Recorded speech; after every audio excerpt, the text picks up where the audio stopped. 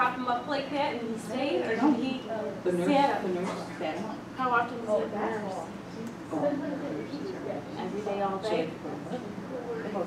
Okay. Okay, we are live. Yep, thank you. He's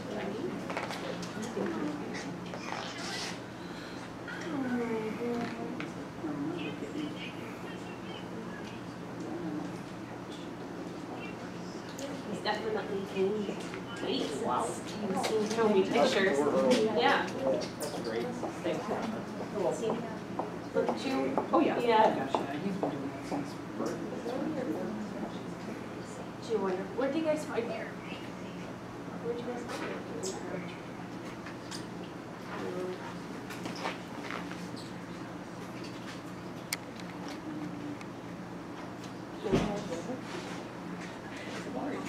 Okay.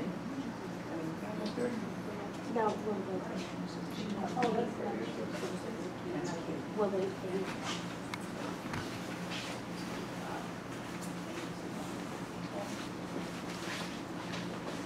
Okay, great. And, um, so.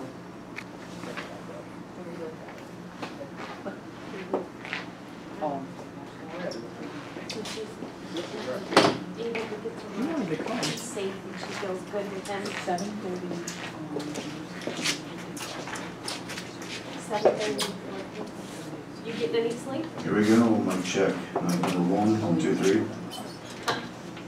How's she doing? Mic number two, one, two, three, four, one, two, three, four, five, six. I don't think we do. We did it, we had having something like Super mic, mic number three, one, two, three, super mic, one, two, three. You're right. She- She's probably never seen that movie. I know, right? You need to complete it. It's like not seeing the Sandlot. Oh, so that's such a good. Yeah. Doing three again, I just increased the volume a little bit. Very good. Oh, I definitely have heard of that. Mic number four, one, two, three, one, two, three, check, check. How are you? You Mic number five, was up all five after alive, the one, board two, meeting. three, check, check.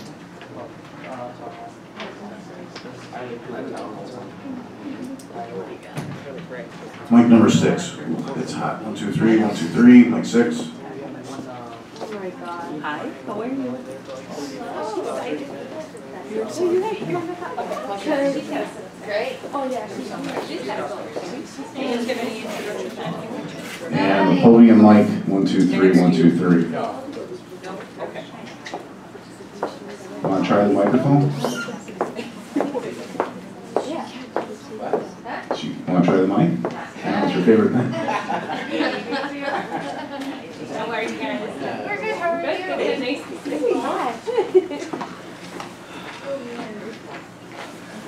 Okay, natural sound. Hopefully you're hearing me babble. And I'm going to mute second here. Okay. Uh, going to mute here in three, two, one.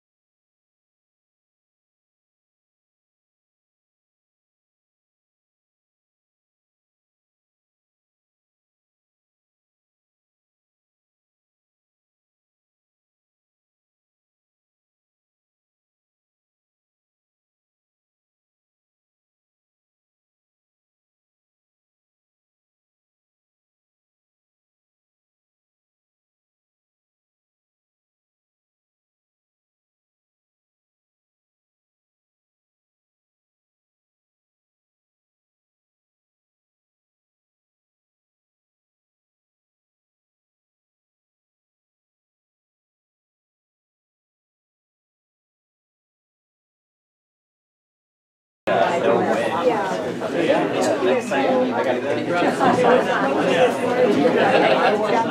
No, because all these kids are supposed to be part of John's presentation. I don't know, I in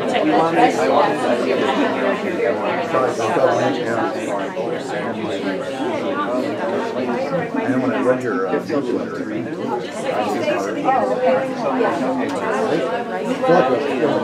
Jen went to go with her. You guys, I really can tell you all. I can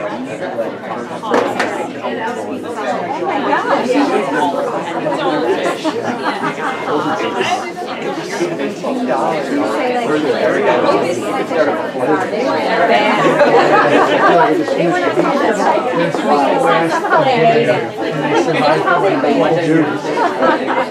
some kids out in the car cat. My mom, they don't have pension. My, my dad in travel. So My mom was like, every episode, before try to get everything. Next night, try to get Really bad. Was they had the coffee pot under the thing. She forgot to the pot one underneath that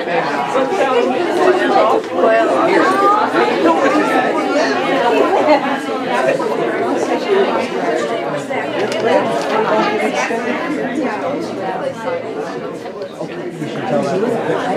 I have a special sauce. I can get six a time. I put coffee in you.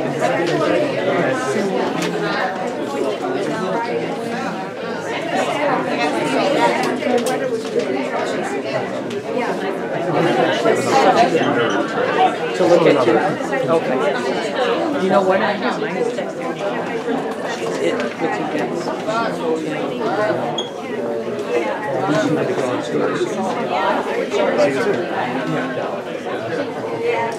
what you. I was trying to get the steps in. Yeah, and it was, um,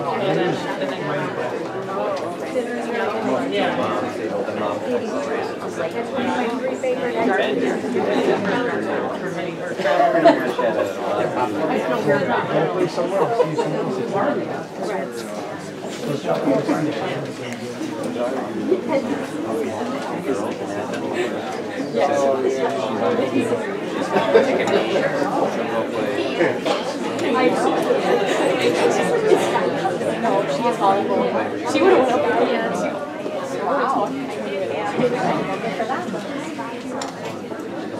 Oh, she's like doing travel. process.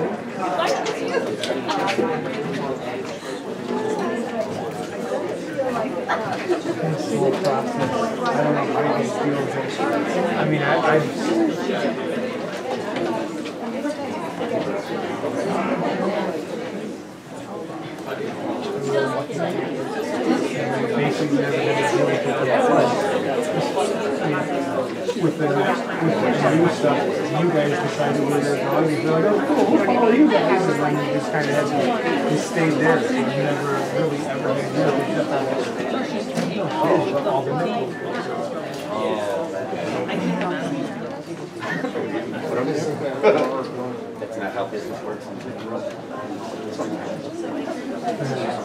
Have.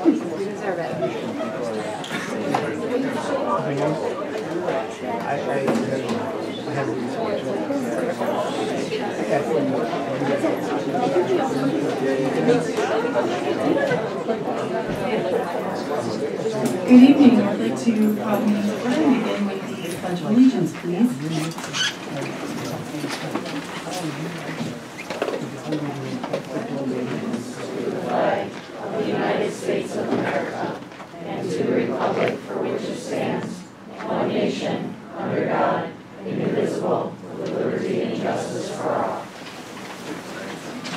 Excuse me, everybody. Uh, Actually, take your seat, that's fine. We're uh, going to do a moment of silence.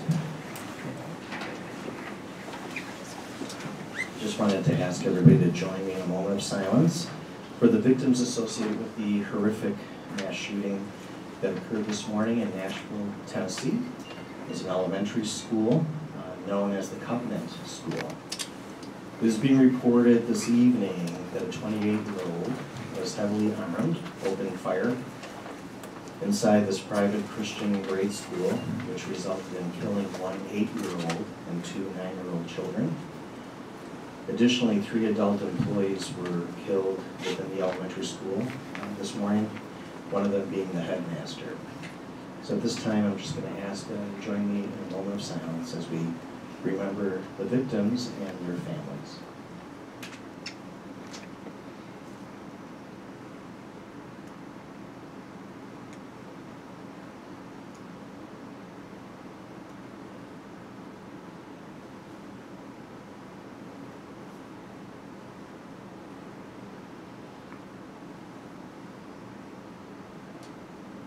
Thank you very much.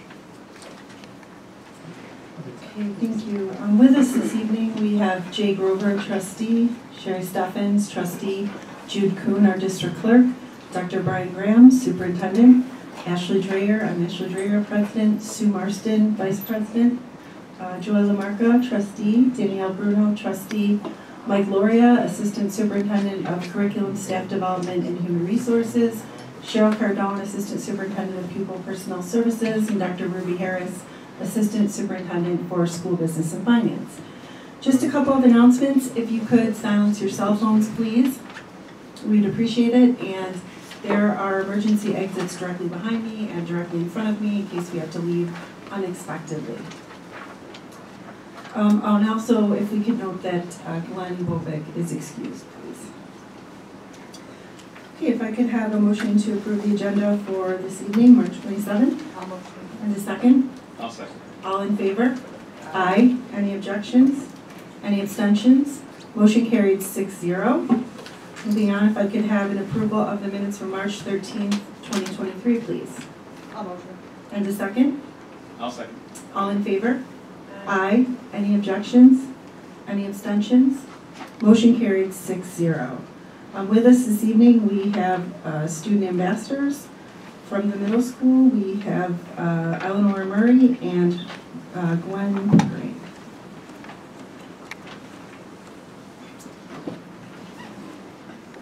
Good evening, Board of Education, and Dr. Graham and the Grand Island community. Mr. Fitzpatrick and myself would like to welcome Eleanor Murray to the podium to talk a little bit about what we have going on at Veronica Connor Middle School. Good evening. My name is Eleanor Murray and I'm the treasurer of the Middle School Student Council. In the past weeks, we have the Spirit Weeks along with the Shamrock Shuffle. In the week leading up to St. Patrick's Day, we started the week by wearing animal outfits. On Tuesday, we had Hat Day, followed by a Disney Character Day on Wednesday. Thursday was PG Day, and finally we wore green or St. Patrick's Day apparel on Friday. On Friday, we also celebrated St. Patrick's Day with the Shamrock Shuffle, where we had games, blow-ups, and foods. Thank you.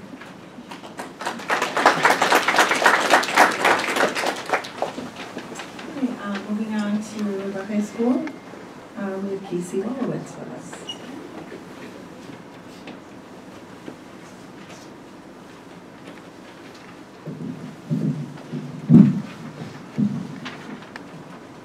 My name is Casey Wellwitz, and I am here to speak on behalf of the Grand Island Senior High School about the events that occurred throughout the month of March. In the past week, GIHS showed their Viking pride with Spirit Week and Clash of the Vikings. Each grade competed to win $1,000 for their class with the points earned through contests in lunch, dress-up days, and the games on Clash nights. Additionally, students could gain points for their class by bringing in items for the toiletry drive and handing in a signed Donate Life pledge regarding organ donation. Monday was Teacher Student Swap Day, and on Tuesday, students wore their best wine gear for Tropical Tuesday. The next day, we went back in time for Way Back Wednesday. Seniors dressed up in 60s attire, juniors were 70s, sophomores were 80s, and freshmen imitated greasers from the 50s. On Thursday, Grand Island High School's school spirit was strong with everyone dressed in blue and white Viking apparel. Finally, the week ended with the grades sporting their class color. Seniors wore pink, juniors wore green, sophomores wore red, and freshmen wore yellow. Friday ended in excitement with the clash of the Vikings, and the seniors were victorious once again. Juniors came in second, the freshmen were third, and sophomores came in last. Ultimately, the Spirit Week was very successful, being a fun event for the whole school while collecting over a thousand toiletries to donate to local charities and raising awareness about organ donation. This weekend was also full of music. with several students performing in all-county concerts on Saturday at UB. Congratulations to all the musicians who performed and dedicated their time and energy to this event. Along with this, March has been full of all-island concerts. Fortunately, if you missed any of these performances, you can watch the recordings on our school website. Even though we just had an exciting week, there are more events to look forward to. After school on March 30th, GIHS is hosting a job fair from 2.30 to 4 p.m. in the Viking Mall. Make sure to bring a resume and explore the event, which has over 15 local businesses ready to hire. Then after spring break, come to the Health and Wellness Fair on Wednesday, April 19th from 5 to 7 p.m. at Grand Island High School. The GICSD Health and Wellness Committee has planned an interactive night for families to participate in and learn about the activities available, and all GI residents are welcome to attend. Spotlighters has also begun rehearsals for the two shows written and directed by senior members. Make sure to come see The Stairs by Kathleen Krozek and Jesse Cam, and The Only One by Maya Nowak on Friday, April 21st at 7 p.m., and Saturday, April 22nd at 3 p.m. Earlier this month, New York State PTA announced the results of the statewide reflections contest. We would like to recognize two GIHS students that earned an award of merit. Congratulations to Reagan Fast and John Paul Cibleski. Both students received awards for their literature pieces, with Reagan writing about her lifelong struggle to overcome nonverbal autism and invisible me. Likewise, John Paul shared his perspective on the war with Ukraine and his cultural identity as a Ukrainian American, and the Ukrainian voice shall forever endure. Once again, congrats to these excellent students who went above and beyond with these projects. With the last week before the third quarter ends, students are looking forward to spring break. This week will end with the volleyball tournament in the gym on Friday, and break will start on April 3rd with classes resuming on Tuesday, April 11th. Thank you.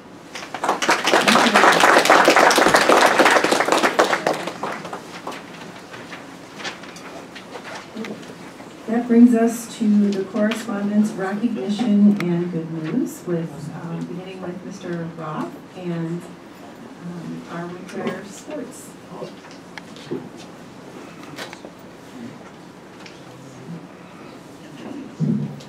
I didn't realize I missed the uh, fifties. But I got plenty of that to wear.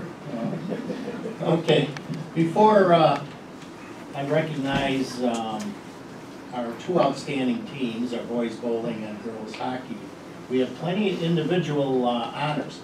And uh, first off, I, uh, we have this NFL League Sportsmanship Award, and it's voted on by all the, all the coaches uh, of every sport and an athlete in each sport, um, if you're in the Niagara Frontier League. And this uh, winter season, we had three uh, sportsmanship winners. And what they do is honor at the Niagara Fall, the NFL end of the year banquet, and, uh, and they also receive a certificate for the coach and the, the individual or the outstanding athlete. Uh, girls basketball was a winner again, and Coach Kristen Rayburn couldn't make it tonight. But uh, Claire LaFay, can you please stand up, Claire? And Claire, show them our uh, little, uh, they get, they get a patch for being an outstanding sportsmanship. Thank you, Claire. Uh, boys basketball, Coach Chris Simpson and Dylan Andrews.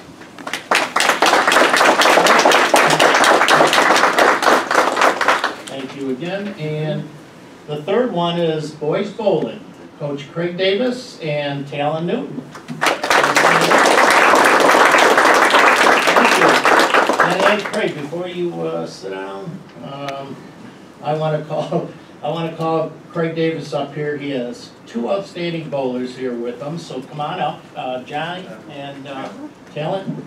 And uh, I just want to say, uh, uh, it's hard to explain this season, but it was a really unique and amazing effort by not only these two guys, but the coaching and also the team. So, better than me explain it, you explain it. If you want to use the mic, go ahead. I thought you wanted me to strike out here with some I- I'll spare him. Well, at least I kept it clean and I didn't. Um, So yes, we, we did have a, a tough year in the league. We finished seven and five, and it seemed like we were just snake bit. We had a great team, and every time we bowled someone, they bowled their best night of the year against us, and it just, we, we had some tough losses that probably should have had. But the highlight of our season definitely came with um, the sectional tournament. The sectional tournament had 42 teams, and we came in third overall and won the Class B championship. So there's four, four classes in the, in the 42 teams. We won the Class B. And um, unfortunately, you win Class B, yeah, if you don't win overall, you don't go on to states. So we couldn't go on to states as a team. But the section sends what we call an all-star team. And they take, there's 285 individual bowlers in. And of those 285 individual bowlers, they take six, bowl, the top six bowlers to the New York State finals. And they bowl as an all-star team for section six. Now, you might notice that we have two guys here wearing a nice section six uh, jersey here. And, um, and that's because both of them finished in the top six. Talon was fourth overall, and John was sixth overall. Now, you might be saying, well, that probably happens all the time. Nope. I, uh, I've been coaching for 20 years. I've had two people finish one place away from going to states. This is the first time I've ever had someone make. And not only did I get one, I got two, which is the first time it's ever happened in school district. So it's really, You may have heard me talk about Talon before at, board meeting. He, he's the one that threw a three hundred. He made a seven-ten split. Later on in the year, he, he threw an eight hundred. And, uh, um, that's harder to do than throwing a three hundred, believe it or not. It's, it's a tough thing to do. I've thrown a three hundred, and I've never come close to an eight hundred. And John, you will probably see up here many more times, because John is a freshman, was just one outstanding bowler. His mom, he, his mom's dead for him, she's a sixth grade. Outstanding bowler, he actually finished second in the state for high game with a two seventy-nine at the state tournament. Alan did get a scholarship to go to Muskingum University, so he's gonna, we're gonna have an official signing, or he's had an official signing. We'll have one in May. We'll have another one in May Yes. for town. All right. Congratulations. Appreciate it. Well done. I couldn't explain that myself. I can't, I can't even believe an eight hundred or a two seventy-nine, other than a three hundred. Wow.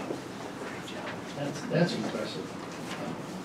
Well, now, for what I consider the best team in Western New York, of course, and possibly the best team in New York State. And I know they lost at the States uh, in the uh, Final Four, but maybe the coach can explain it better than me. We were basically playing an all-star team, not another high school or two combined. So, um, Coach Jeff Orlowski, head coach Jeff Orlowski, come on up. Maybe you can explain a little bit about that and maybe recap a little bit of the season. Come on in here. And I, I just want to say thanks to Jeff. Uh, he, he obviously uh, is in Kenmore. He probably has to do this at his board, and, uh, Kenton board meeting, and maybe even take a trip out to Lockport with our two girls. But uh, he's done an outstanding job over the years, and he did an outstanding job this year. He took them as far as I really think we deserve to go. Um, that team is just so good. Jeff? Thank you very much. Um, just to explain what he's talking about, in, in Western New York, um, all the girls' high school teams are combined with other teams because there's just not enough girls to play. So for example, as he said, we're combined with Kenmore, Grand Island, and, and Lockport. So we cap it at three school districts in Western New York. Um, so that's the most you can have. Um, in the other districts across the state, or sections, for example, uh, they don't have caps on it, so it becomes a real issue. So what happens, the team we ran into in states, semifinals, um, had eight high schools on their team. Four of the high schools had one kid from each school. So they went specifically after the, the four kids to, to be able to, to make their team.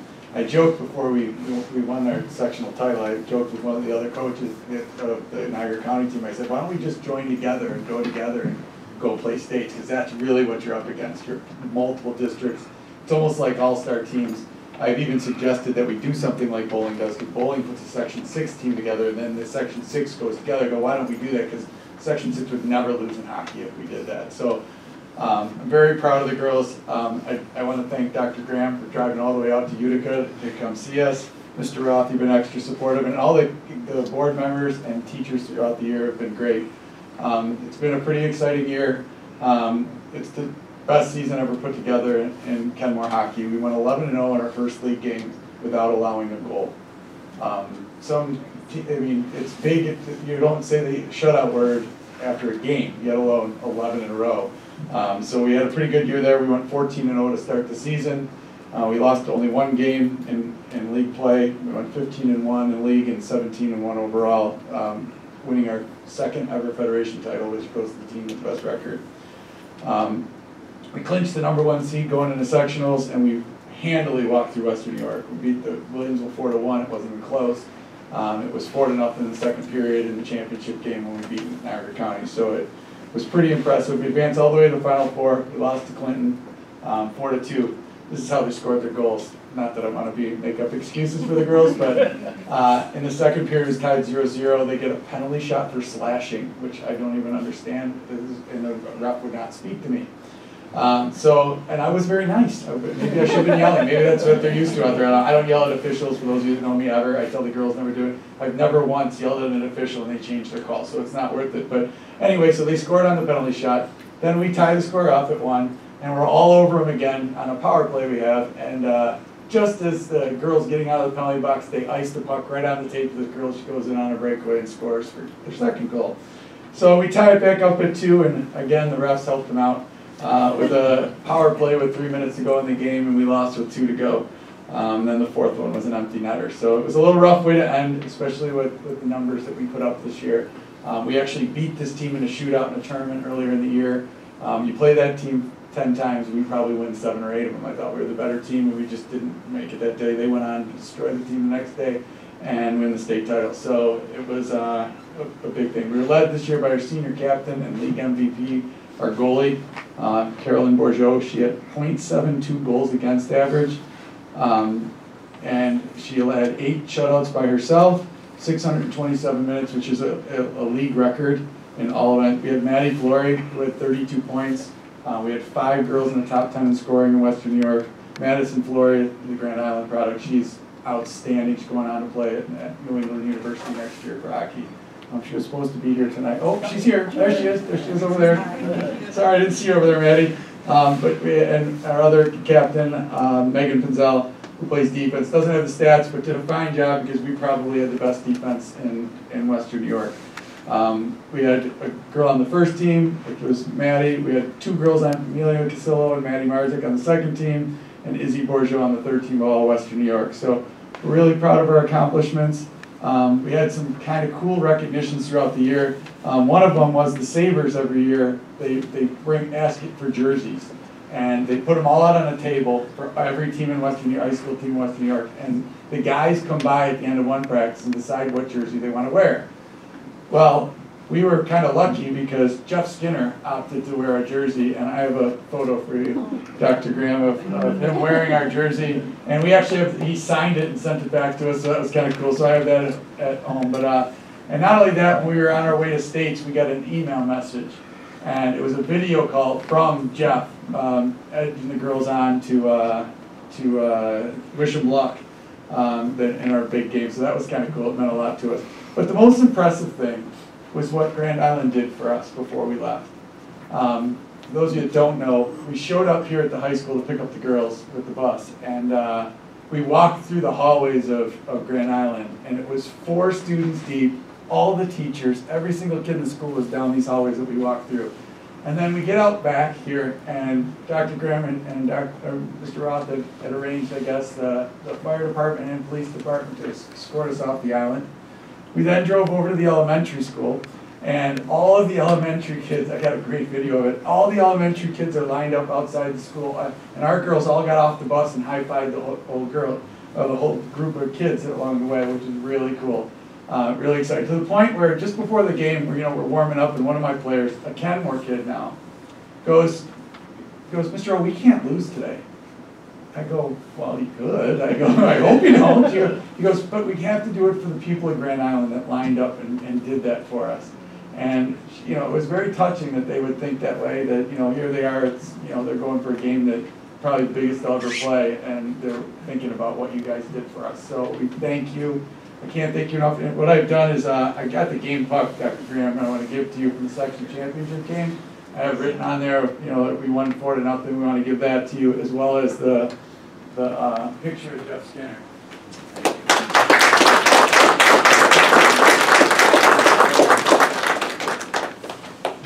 Real quick, I know I'm talking a lot, but I want to recognize the girls now. So, uh, um, our, our goalies, Ella Johnston, Okay, Megan Pinzel, our, our senior captain, is holding the sectional title trophy in her hand.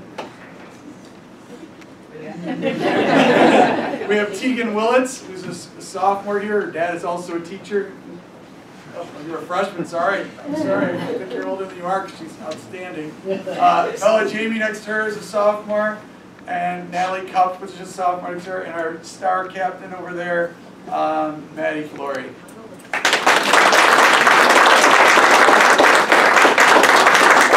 I know a few, a few this year, seniors, but I'm guaranteeing a sectional title in two more years. The majority of our team is sophomores right now, and to do what they did was pretty impressive at that age. so. Do we have any seniors with us this Yes, evening? Can we, Madison, Madison and Megan are both seniors. can we hear from them what their plans for our high school can go, or what they're interested in doing? Yes, absolutely, come on. Megan, right here. Oh, all right.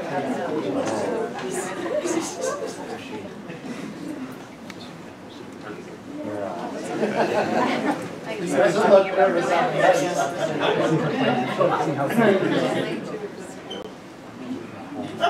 So you have any plans for Halloween? Um, I'm undecided.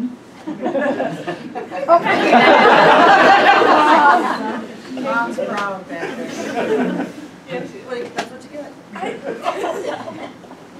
Um, I'm going to Western New England University at- in Massachusetts to play D3 hockey, and I'm going for the varsity. Coach, can you just bring the girls up with you or take one picture from this perspective? Everybody has a trophy. Alright, with the trophy. It was very exciting following you this season and, and following you out this week. uh, Sectional championships. Congratulations. You know, you guys come right up and stand when it's turned around, right? Wait, one, this way, this is good for now. Yeah, I got it. Oh, yeah. we'll- Get ready, three. two, One, perfect, now turn around, face your Fancy.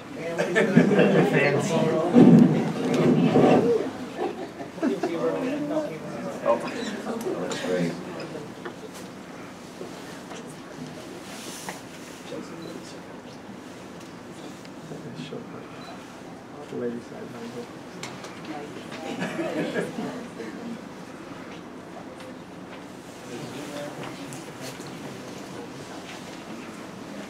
Thank you, Larry. Thank you, Jeff. Well done. Thank you very much.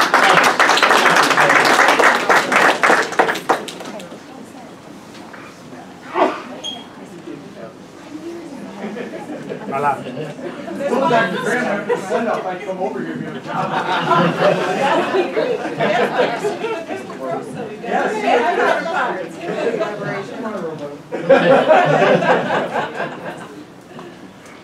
We'll take uh, Jeff in a heartbeat here. He's done a wonderful job, and uh, what he forgot to mention, but I can mention this, is uh, we did lose four to two, but the two goals were scored by Bella Jamie and Maddie Flory. But that goalie is unbelievable and kept us in the game. No, it, it was a total team effort this year, and it's a very bright future, I'll tell you that. Just uh, exactly right. Thanks, Jeff. Uh, Last Sunday, March 12th, no, two Sundays ago, March 12th, was the Niagara PAL banquet, uh, the Niagara PAL, I should say, Police Athletic League, um, at the uh, Sheridan Hotel with 13 other teams, or schools, I should say, representing uh, the PAL Awards and their, um, and their banquet, and everything they do for us. We were invited about ten years ago as an Erie County school, and now just uh, a year or two ago, uh, the Kenton schools, Ken East and Ken West were invited, so we're the only three from Erie County.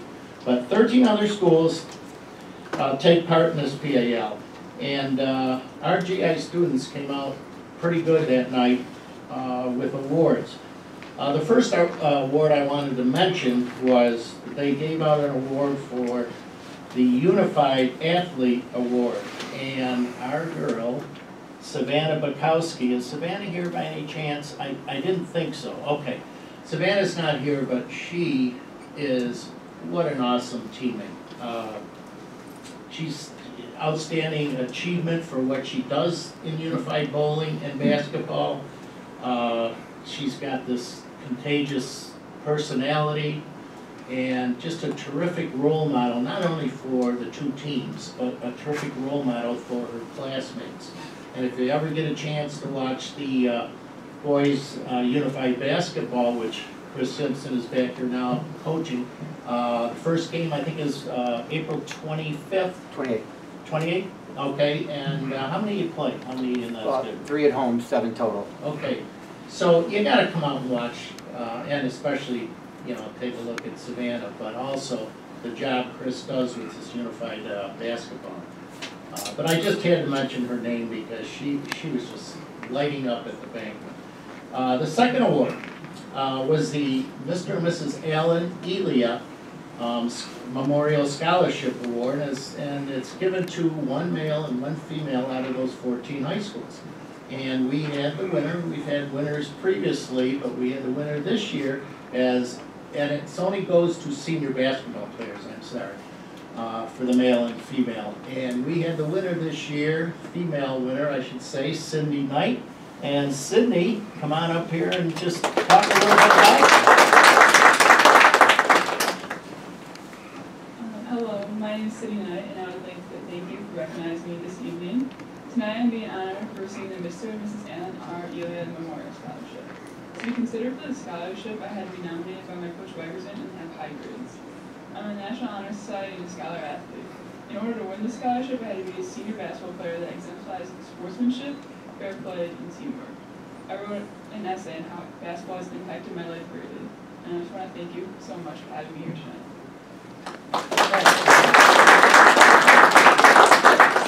Very well done. They, they said it's like a minimum of five hundred words or something like that, or not? Yeah, Yeah, something like that. And the scholarship, uh, going to Syracuse, and that'll help at least, uh, well, probably not much. Now that I think about tuitions this day and age, but, uh, twelve hundred and fifty dollars, I think it was, right? Yeah. So congratulations. Very well done.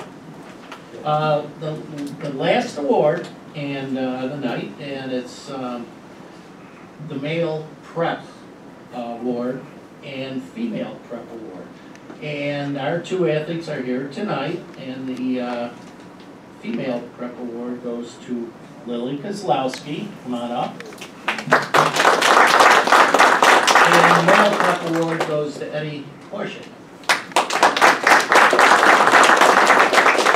Before Eddie says a few words, um, I just wanted to say, you know, we always, parents, um, you know, kids at a, a younger age are always talking about, you know, scholarship, scholarship, but it's really, really difficult to get an athletic scholarship, let alone an academic scholarship. But these two, and, and, and kids are saying, you know, in the middle school, I wanna play D one, D two, and, uh, Nandy said she's playing D three, but that's comparable in hockey to D one, I think Jeff will attest to that, it's unbelievable competition, so a feather in your cap, Nandy, but here's a little girl right here in lacrosse, a three-sport athlete that is going to Canisius College, at Division One girls lacrosse, she'll be playing and, uh, attending, or, uh, and getting a scholarship. So congratulations to Lily. Eddie, probably, uh, the best, well, not probably, he is the best volleyball player in Western New York, seriously. And, uh, Eddie is going to Daemen College, Division Two, and they also give scholarships, and, uh, he will be playing with, I think you remember, uh, when we won two thousand nineteen, our, uh, uh, state, you know, um, state, state award and in boys volleyball and, uh, state championship, I should say, in, uh, boys volleyball, and he'll be playing with Billy Weiber, Weaver, Billy Weaver. So I just wanted to mention that, and, uh, Eddie, come on up and say a few words. Hi, my name is Eddie Korjak, and I would just like to thank Mr. Roth and the athletic department for nominating me for the Niagara Pal Male Athlete of the Year. It's a great honor to represent the Grand Island School District. I would also like to thank all my coaches and teammates for giving me the opportunity to live out my high school dreams. I would like to thank my entire family for all their love and support.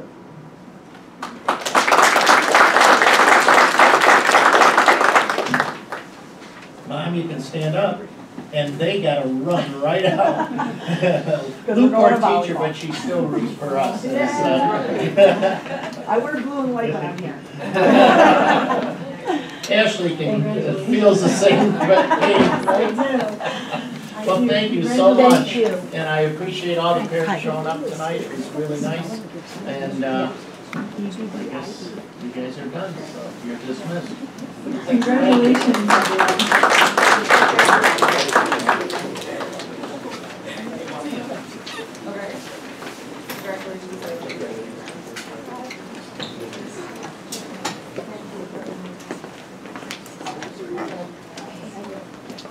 I think we have an Eagle Scout in the house. Very exciting.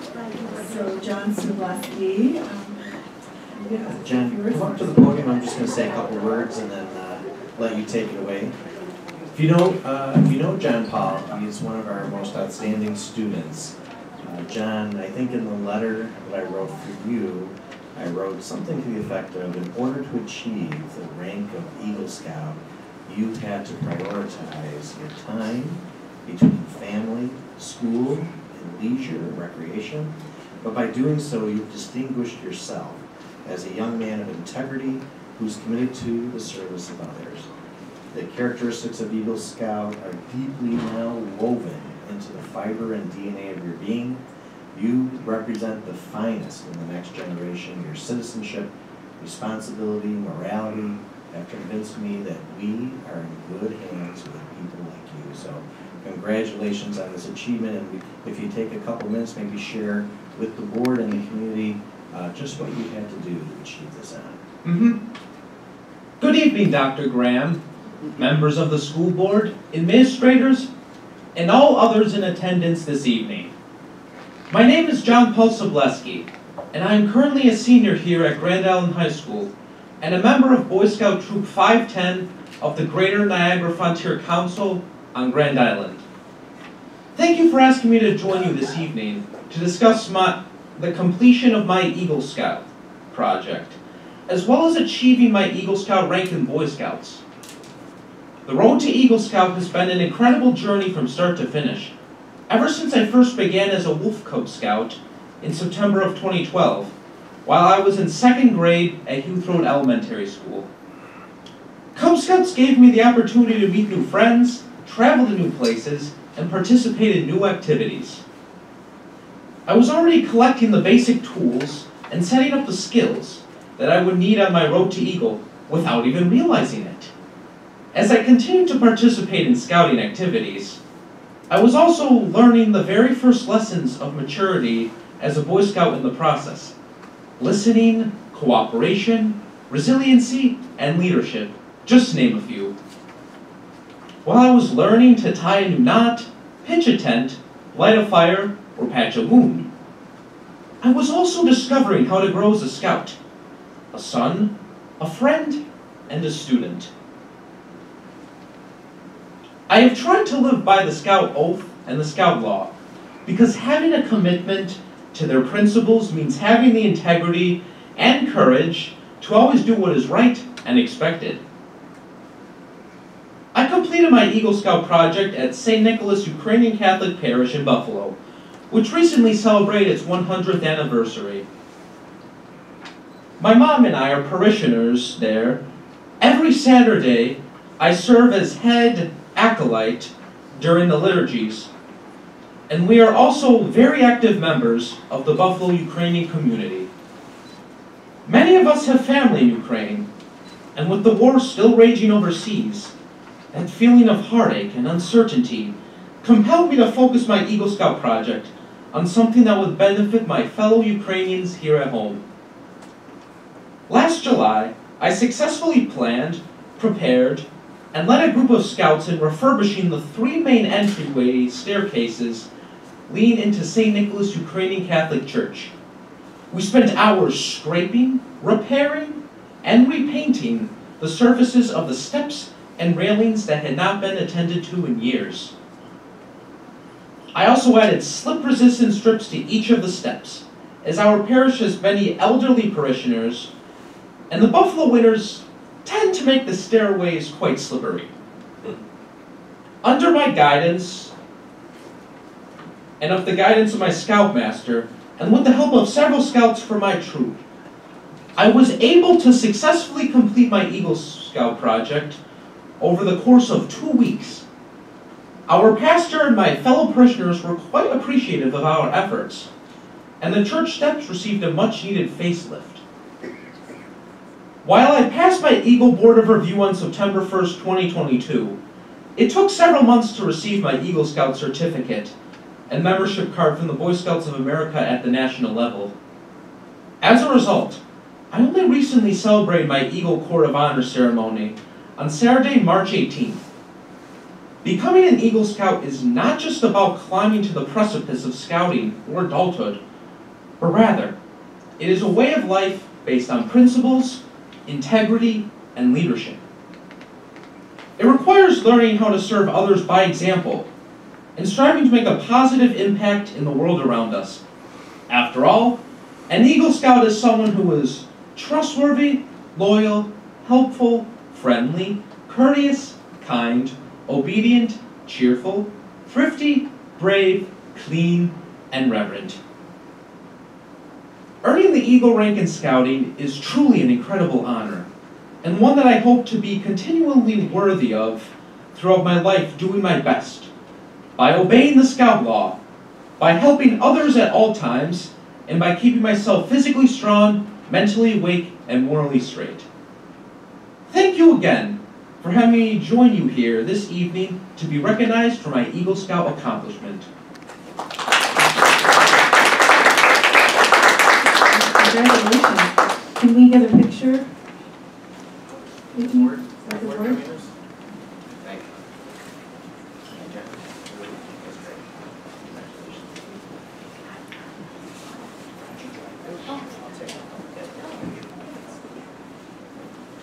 Here, come back here.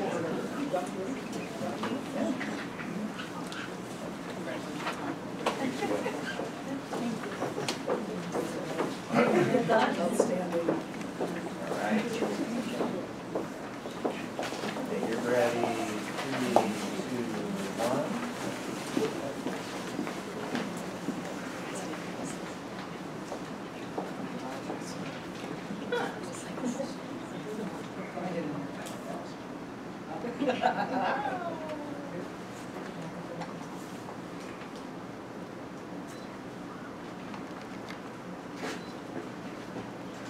Hang on one second, one second.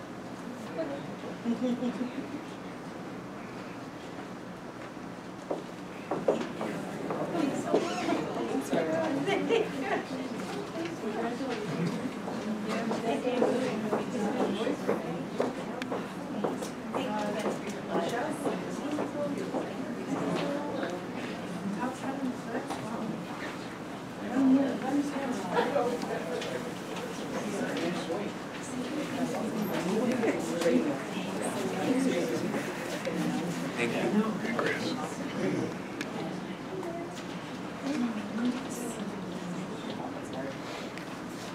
we are moving on to the public comment session. And and it is for agenda items only, and we do have uh, one um, individual that signed up, signed up, Rebecca Dolan.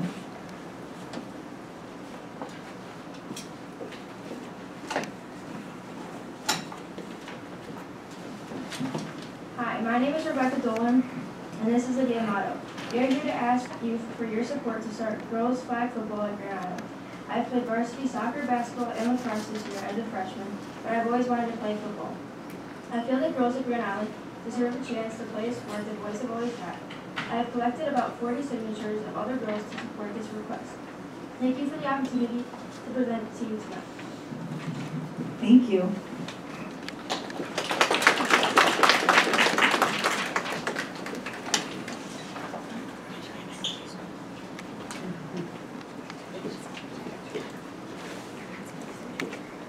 Moving on to curriculum instruction Mr. Loria.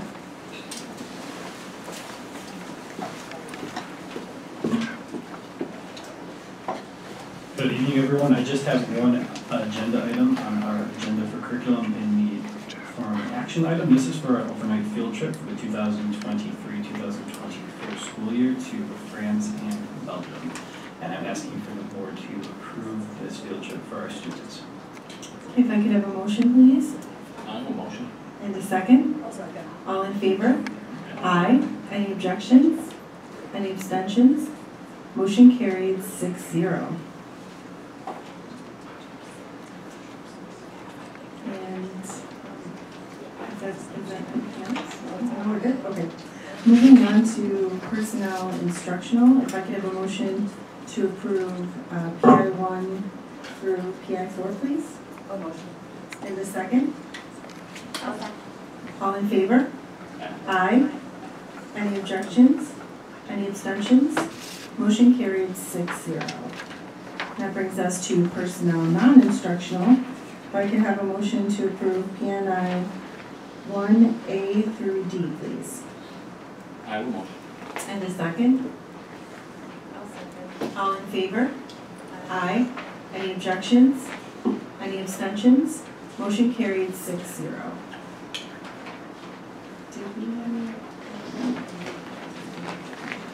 Any? Introductions tonight? Okay, thank you. Okay, moving on to finance with Dr. Harris. Okay, so everything on the agenda tonight is just informational. Um, Item A is the check warrant for February. Um, Item B is COVID funds information. It goes back to 2020 when we first started receiving funds, all the way through the receipt of American Rescue Funds and how we had spent those. So there are a couple of different um, attachments. I won't go into each one of them, but it really outlines the application process we had to go through to submit to utilize these funds with the state, as well as the website where all of our information for American Rescue has to be um, not only published there, but updated each year for the public to know um, how we've spent funds, what we're spending them on, and what we plan to do for the upcoming year. So that will be updated again uh, in the summer. I will do another, another survey send out because you have to still receive input. Um, so I plan to do that probably uh, middle to end of May, and then we'll update that on the website as well. Um, C is the RevTrak and self-funded um, medical bank reconciliation information, and then I guess we are ready to start budget unless there are questions on the other items. Do you want, do you want her to do her stuff before we do budget? Um, we could do special education. Okay. Are there any questions? I'm sorry. Um, I did not have any. So we just need a motion for A then? And then We just need a motion for A, please. Okay, if I could have a motion for, uh, special education pupil personnel services A, please. A motion. And a second? A second. All in favor? Aye. Any objections? Any abstentions? Motion carried six zero. Now we're ready for the budget. Third budget presentation. I want to thank the board and uh, all of our administrators for working so diligently on the budget. Uh, Tonight, we're going to try to feature any slide that has an update. So for those board members who you know that many of these slides are a little redundant because they've been presented to you each, um, each time that we've done the, the budget presentation, but again, we'll focus on anything that is new, just to be expedient with our time tonight. Uh, Here, um, just want to mention, obviously, we're going to go through many items on the budget. Uh, One note is that although it's not listed here, actually it is under budget calendar, we do have a special board meeting uh, April 11th. scheduled for April eleventh, it's a Tuesday. Correct. And it's designed uh, to the extent uh, that the governor has uh, submitted her budget officially. Uh, Her deadline is usually April first, sometimes it's a little late, maybe for a first-time governor, but we hope that it's on time. April first is a Saturday. Saturday. Saturday. So we're thinking like Monday, maybe Tuesday, but Monday is my hope. Right, so Ruby and I will be paying very close attention to that, and, and at that point, we will communicate with the board if there are surprises or changes with the monies that have already been allocated to the district. So I'm gonna jump ahead, you've seen a lot of these enrollment slides in the past, but I am gonna stop here. Uh, as you know, we do, this is how we look at projected numbers for kindergarten. This is a chart that shows us the live uh, birth data attributed to Grand Island from five years ago. There's an arrow here that points to their prediction of hundred and eighty-seven students uh, enrolling in September. Just to make sure our board is aware, um, we are predicting two hundred and ten. So in the event that the previous chart is more accurate, uh, I want the board to know that, uh, as you've seen in the past, we're recommending an increase in the number of teachers uh, working at Kaegebein from 17 to 18, and that is shown here. Uh, We will be paying attention to kindergarten enrollment. And and in the event that this number looks like it's going to be close to the previous slide, we will look for a transfer of a teacher from Sidway to Kaegebein to increase the number of teachers to 18. In the event that this number is more accurate and we look to have 210 uh, students enroll in kindergarten with 11 classroom teachers, we will not transfer that teacher, but we will hire a brand new teacher uh, to make up the difference. We just think it's prudent to wait and to watch enrollment and make that adjustment in the summer when we, when we see the need to transfer or to hire. Does the board have any questions about that? I, had a question just about Huth. I know we had, last year, we had a large, I think it was a second grade class. I'm just looking at the, the small. And then, um, Did you say Huth? I think it was, it was Huth. We had a, a larger second grade class and then in third grade, it seems like we, did we lower the number of students to teachers? Did we lose any students, I guess, at that oh, that we had, that we had the, um, uh, we, it seemed like we had more teachers that year at Huth than at the second grade level that are not, um, moving to third, we, we have more teachers this year at second grade than we will next year at third grade, I guess. Yeah, it's a good question. So, uh, this is the projected elementary class size starting in September for Huth.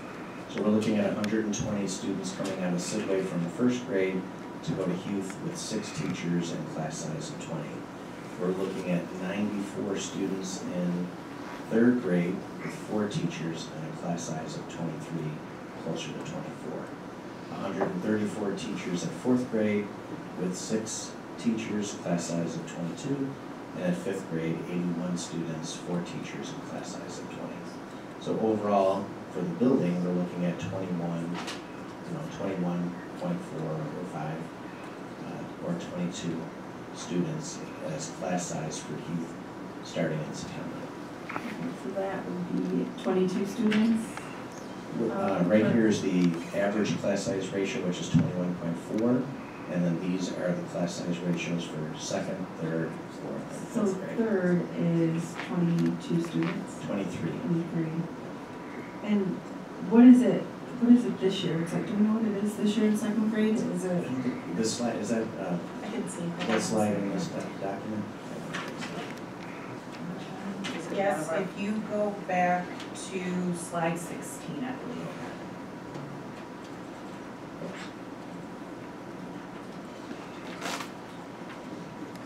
Is that the one? Is this it here? Yes, that's the current. So actually, here's the slide. So the total number of teachers are, is not changing. There's twenty classroom teachers attributed to second, third, fourth, and fifth. But how they're deployed, uh, makes a difference to the class sizes. So these, these twenty teachers will be reshuffled a little bit, maybe just a little bit, uh, to accommodate the needs that we're projecting for, uh, this year. So here are the projected numbers. It's still twenty teachers for the building, and the class sizes are here. So secondary is like twenty-two, one. I think this year, second grade is, was eighteen, class size of eighteen, and now Yeah, from second to third, so it's the same class size, going from second to third. Okay. Thank you.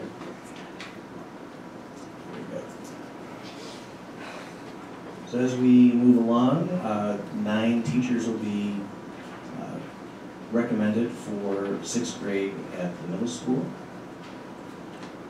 Gotta make this little smaller so we can see. So here's the, the nine that will be attributed to sixth grade. Uh, The retirements still are being replaced and that recommendation will continue.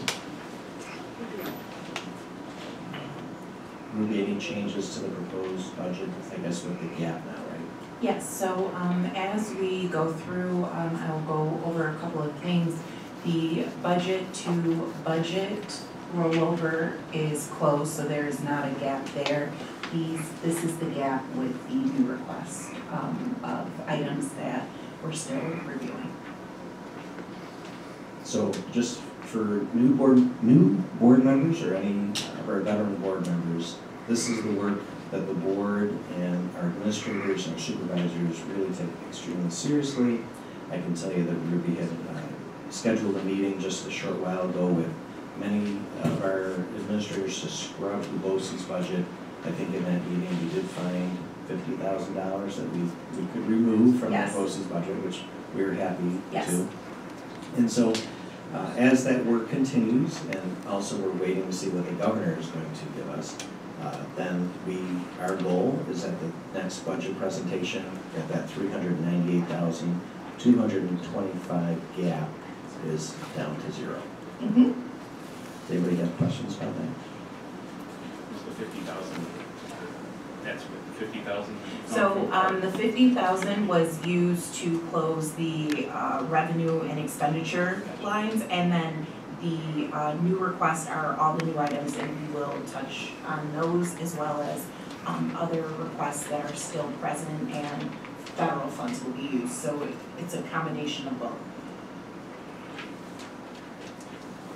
Ruby, anything new on this slide? Um, no, no, no, uh, updates, just, I think the only thing we have is the components of what the, um, houses offered for, uh, the state, what, or for the Senate and their thoughts on the different things that were being uh, proposed as well as the assembly, so we're just waiting for all of that to trickle out. Absolutely. I think the most important element here is this carve out. It's, uh, was called, uh, high impact tutoring set aside. This was the first time that we've seen, um, the budget restrict the use of, of certain dollars. I shouldn't say the first time, because many of these things like UPK is restricted and so forth. But this was another carve out to foundation aid. Uh, superintendents and others across the state have been pushing back on this carve out. Uh, we hope that in the next iteration of the approved budget by the governor, that these dollars are just uh, absorbed into the regular foundation aid without any, um, you know, any specific directions on how to spend those dollars. Correct. What is that? So- I couldn't hear you. So the hope, Oh. yeah, so the Can hope is, it? 'Cause you didn't hear me. I don't really know what I'm saying, but I like. she just wanted to know when is it, like when would we know, so. We definitely will know by April eleventh. Yeah, so the question I think you're asking is, on April eleventh, will we know? We will know. That's on the next one. Yes, we do anticipate that efforts uh, to stop um, legislators from telling us what to do with certain dollars, we expect that to, to be approved by the governor, but we can't say that for certain today.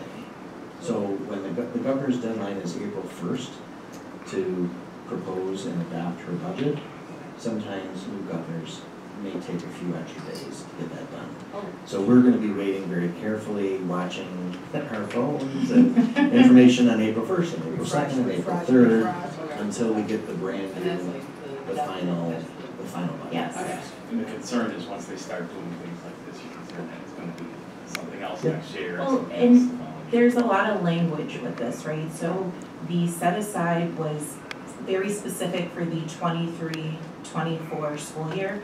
So there's a question of why are you doing it specifically like this? Is it something that's gonna go away the year after? And given the allowances for the funds, it really gridlocks you with adding um, either a, a robust program, because it's two hundred and eight thousand, or increasing staff. So that's the, always the question thereafter is, are you gonna continue to give us these funds to support this? Are you not? Um, is it going to roll into foundation aid in the future?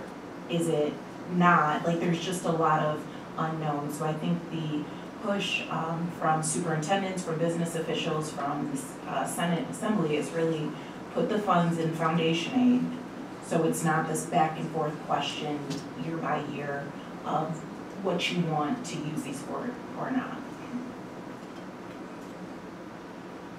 So any, there really weren't any changes. No, but if you scroll down, um, a little bit, no, no, okay. So, um, there, due to the increase of foundation aid, there is a requirement, um, it actually started in the 21-22 uh, school year, for school districts to provide a foundation aid survey. Our increase in the past, though, last year it was a million, um, did not hit the threshold of providing the survey. This year, planning for next year, it did. So we sent the survey out to parents, students, staff, uh, every, everyone, anyone could really go on and complete the survey, and we received, uh, those results, so that is also included in this presentation. Do you want me to talk to this, or you want Yeah, to talk to it? no, go ahead. It- And I think just overall, um, how many people responded to the survey? We had three hundred and nine, um, responses. This does break it down into, um, parents, uh, being about fifty-nine percent.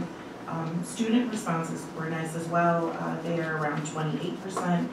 Teachers fifteen, uh, and administrators zero, that's probably because they give me their res- responses in person. Um, support personnel was two point three percent, and we did have community and other groups. So, um, what you will see here is the percentage of people that responded yes of the three hundred nine responses and what they were responding yes to. Um, these areas were not areas that I specifically picked to ask questions. These are the specific questions the state asked once we submit our information saying we did reach out to the community, we're very specific on the areas. So that's how we, uh, created our question selection. And you could have picked every one of them, right? Yes, there was not a just select one. So you do have, there were responses, and this is just being very honest and transparent, where people selected everything. And then you had other people who were very specific um, in what they wanted to select. And then the next page actually uh, shows a compilation of write-in responses where they were able to type it. Do you think, um, because the people filling out the survey had to give their name and email addresses, do you think that deterred people? I was, I I, I was I don't know if you had to give your name. I, I thought you did, because I, I, I went through it, I was, think you and I could be wrong, maybe it's just an email address, but I'm just wondering if there's thoughts on, and, and maybe I'm. I would check that, um, I don't remember the name part, uh, but I did do a couple of surveys, so. It wasn't a non-required, because I did look at it, I was just curious. I would, I would hope it would not to hear some more from, um? Let's see.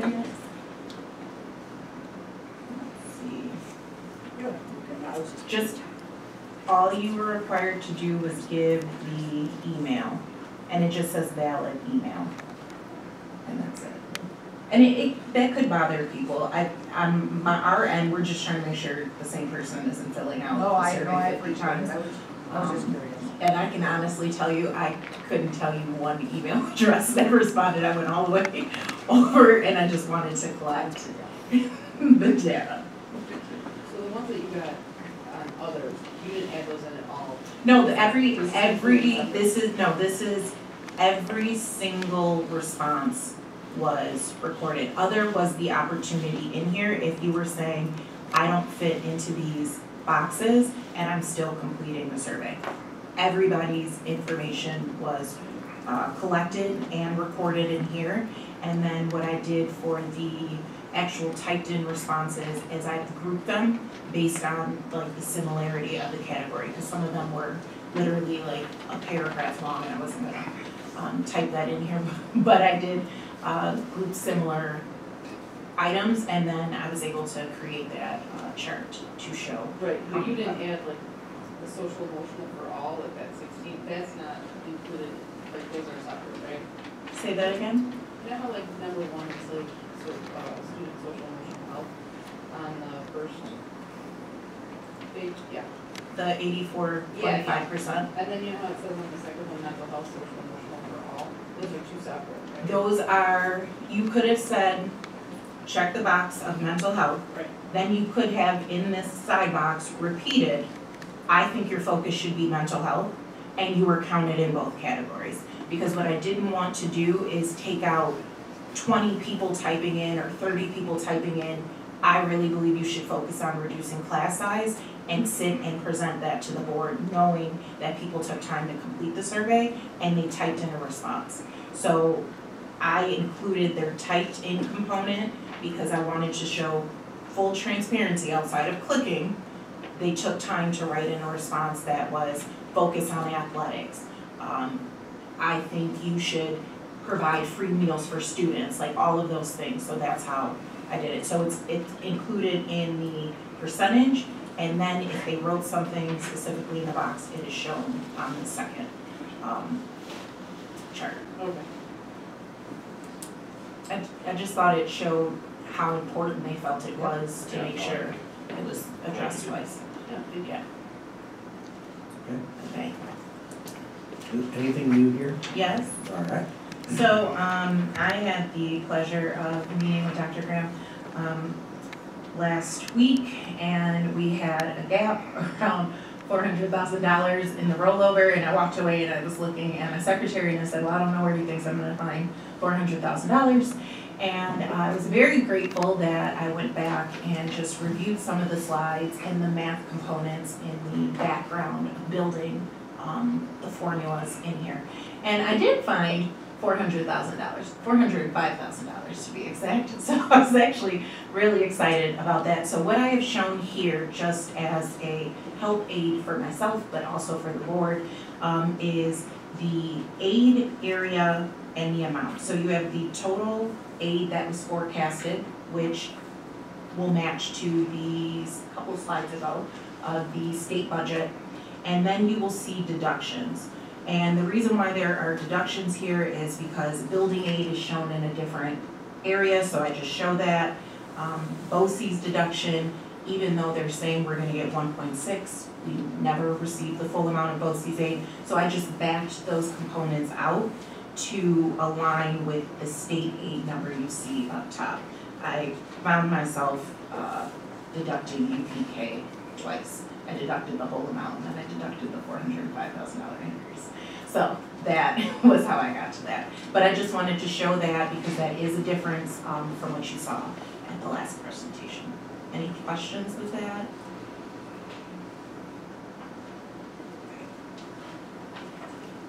This slide is still similar.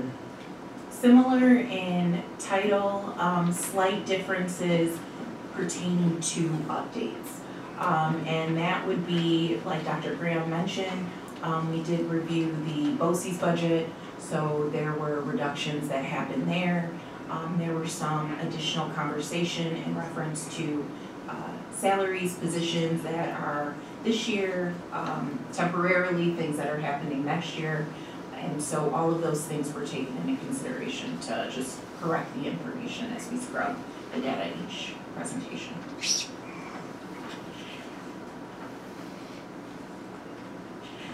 That then flows over into the uh, more detailed chart that goes department by department. So you'll see on this, the BOCES um, line item change, the salary line item uh, was adjusted slightly.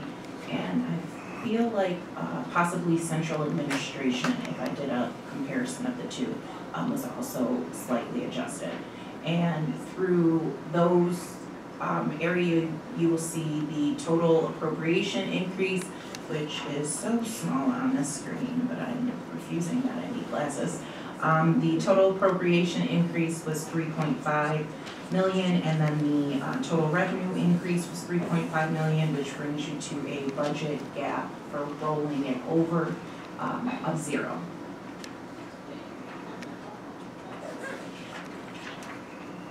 So clearly that's good news, so thank you. Oh, yes, Yes. yes, I, I was looking like, I don't know where you can to just have that stored away, but. So as we look at uh, the wants and some of the needs, you can see that increasing art from point 0.4 to point 0.5, I think previously it said point 0.8.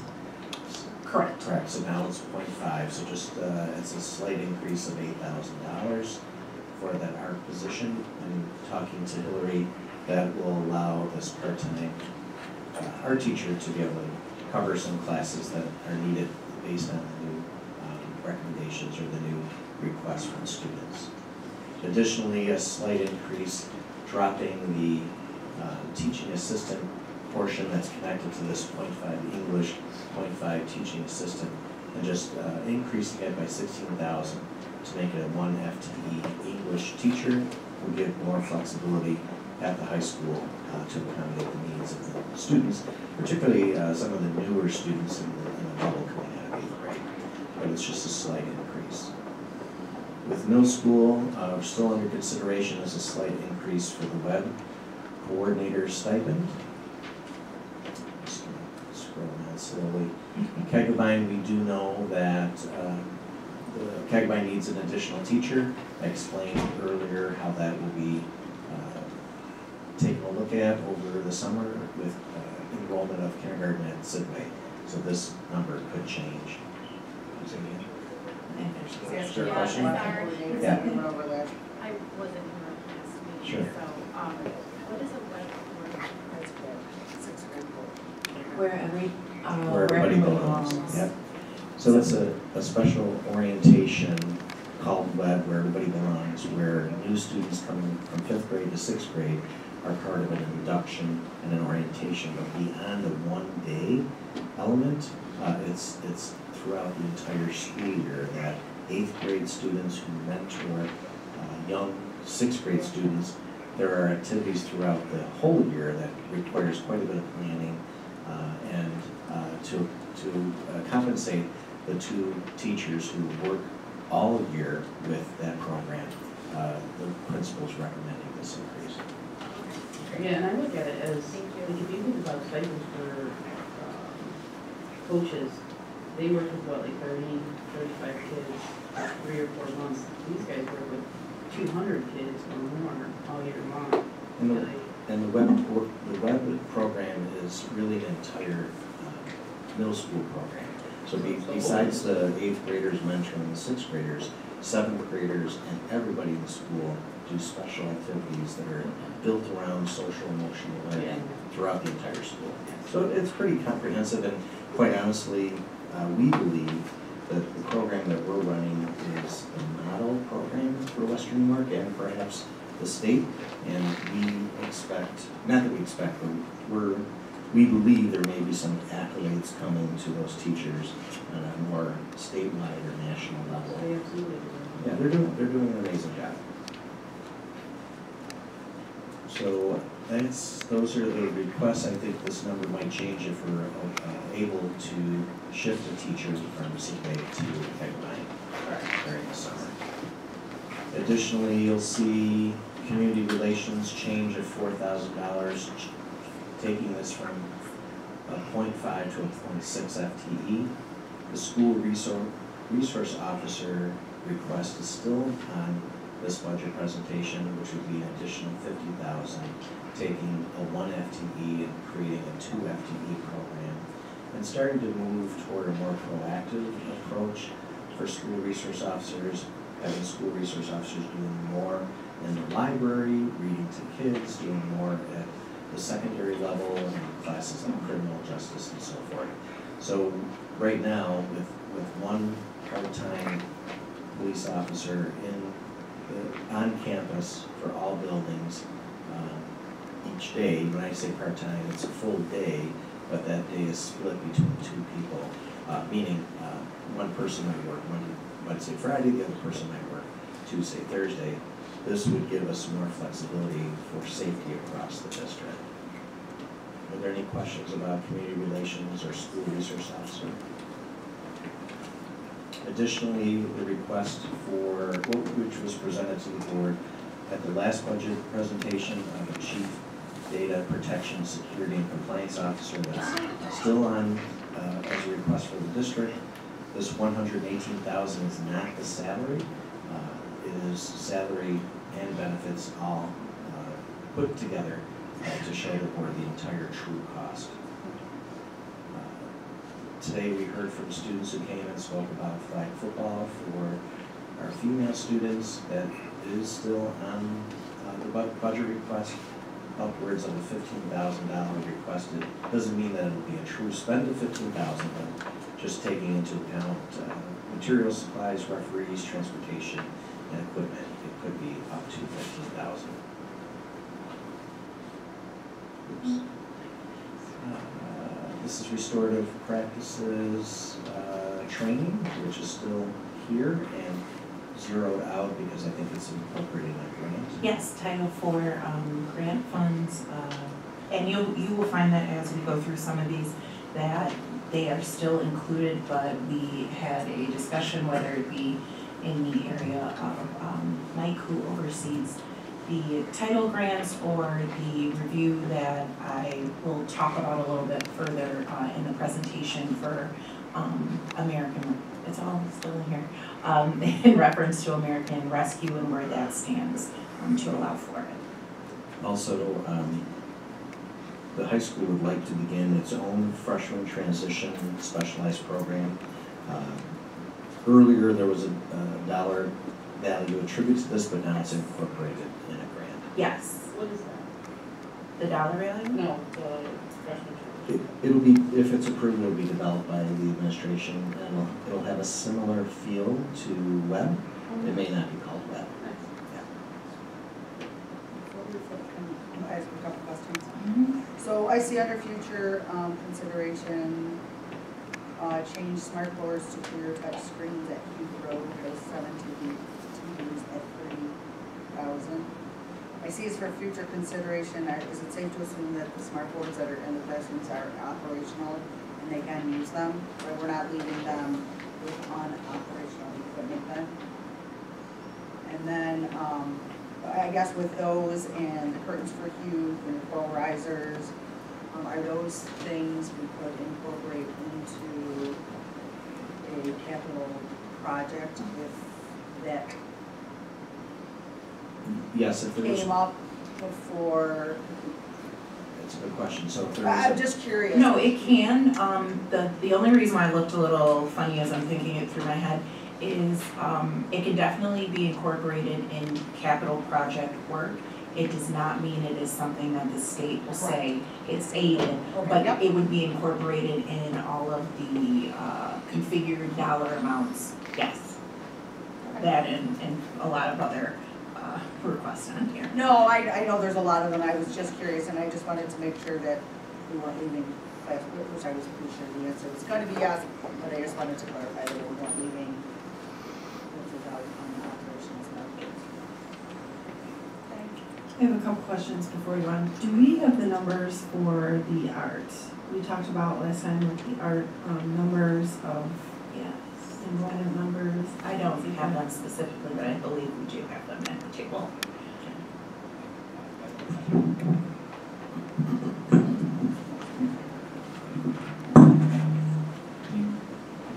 Um, I don't believe that we have at the table, but we didn't really do our numbers for, for the art enrollment. I'm not recalling the actual request. It was a request to have exact numbers. To look Yeah. at increasing from, we're increasing the position from part-time to Yeah. full-time, so we had to look at our Yeah, so enrollment Hillary for and I next year. sat down on Friday, actually, we looked at all of our numbers, not just, and we actually, I'm on doing master schedule training as well, but we looked at our numbers. And part of the decision in terms of what you're looking for with the reduction from point eight was, I think, a conversation where the numbers looked a little bit smaller than we had anticipated in looking at the scheduling.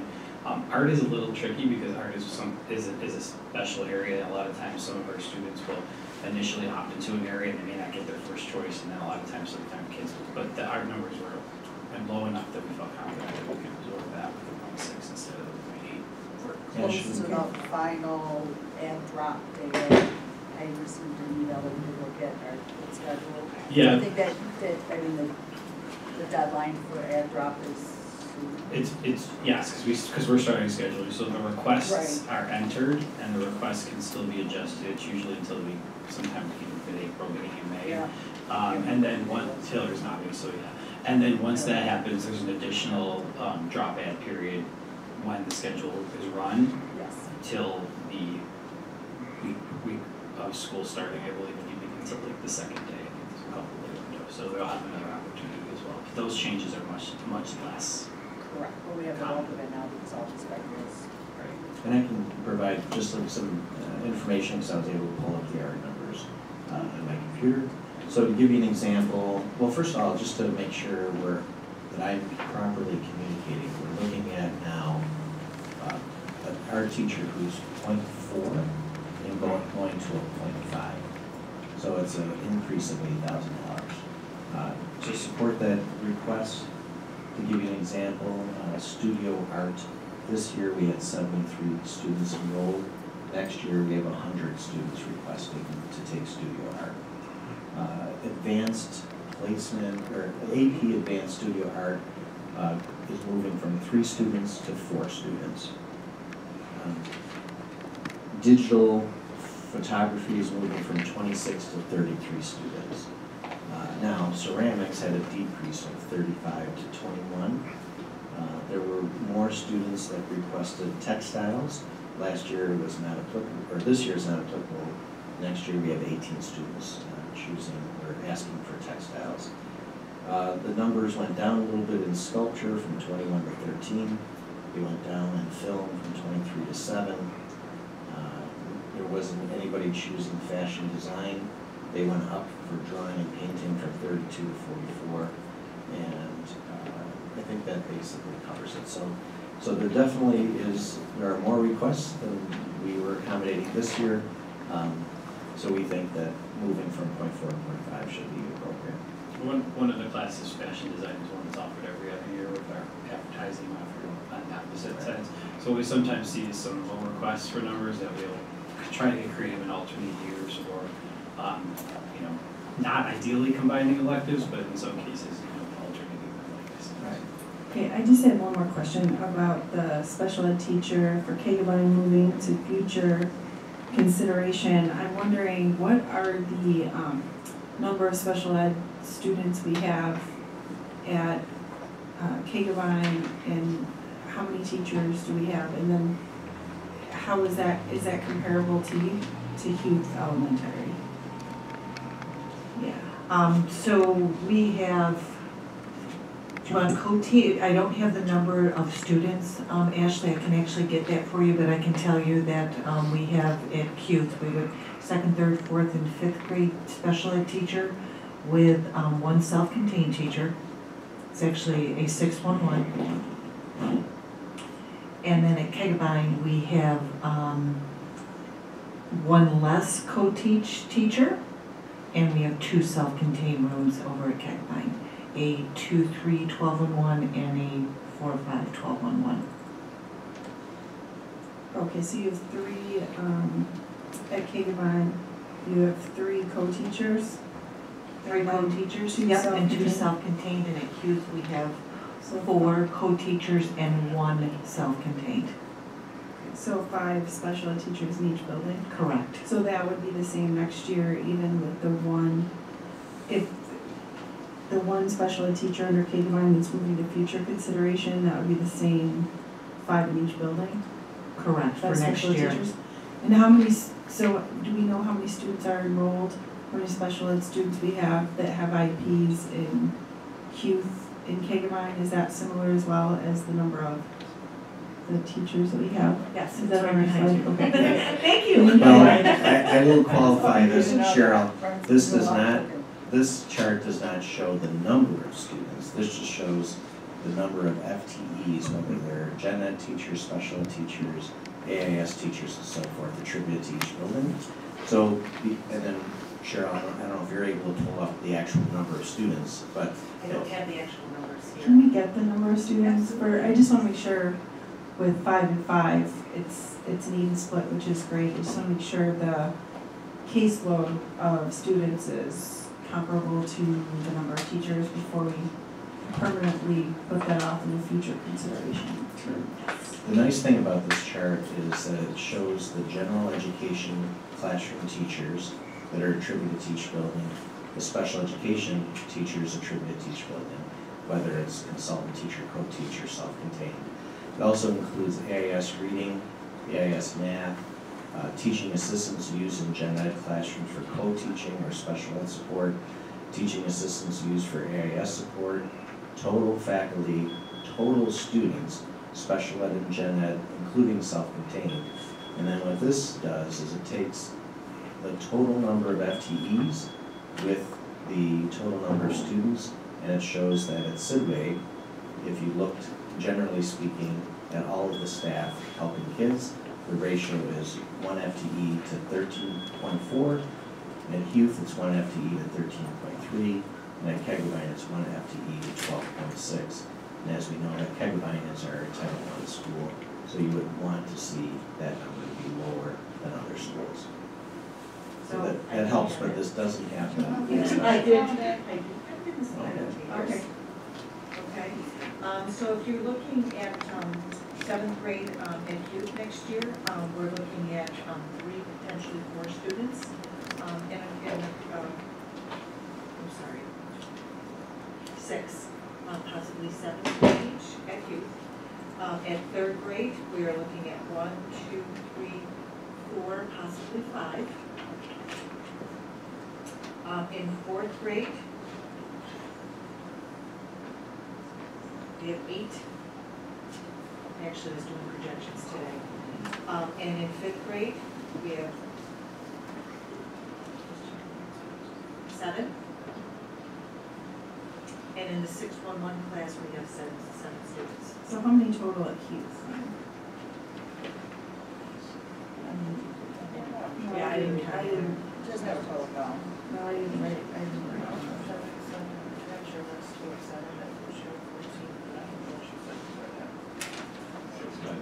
And Cheryl, you could put this together. Yeah, I'll put it together. Right. I do have. I do have it in front of me, so. Okay, I will put the total numbers together. And I'll send it out tomorrow. Thank you. Ashley, it's close to nine, is it okay if we dismiss some of the students? Yes, here? We were just talking Okay, perfect. If any student need, needs to leave because it's of your driving restrictions, you can come up and get your paper signed for participation. I just wanna, um, note that some of these numbers may fluctuate a little bit because they're still going in other weeks. And they may either transition out or transition in. But guys, we can sign through this one.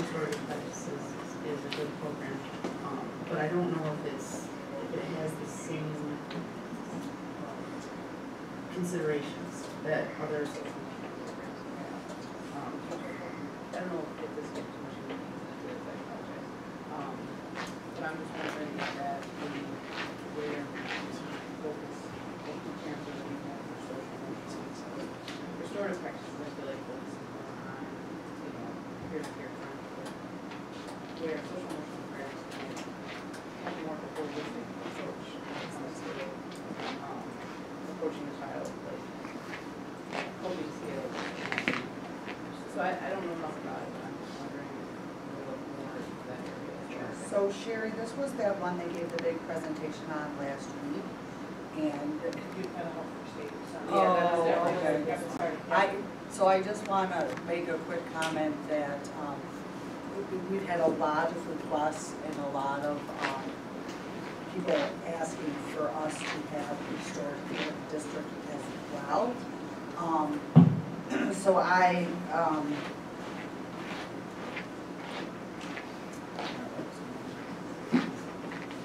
And and add to that when you're ready, Sue. You know what, I, I'm finished, I guess, I guess where I was going was, is I am sure that our administration has looked at everything as a whole. And, um, I know restorative practices has been something we've been discussing for a long, long time.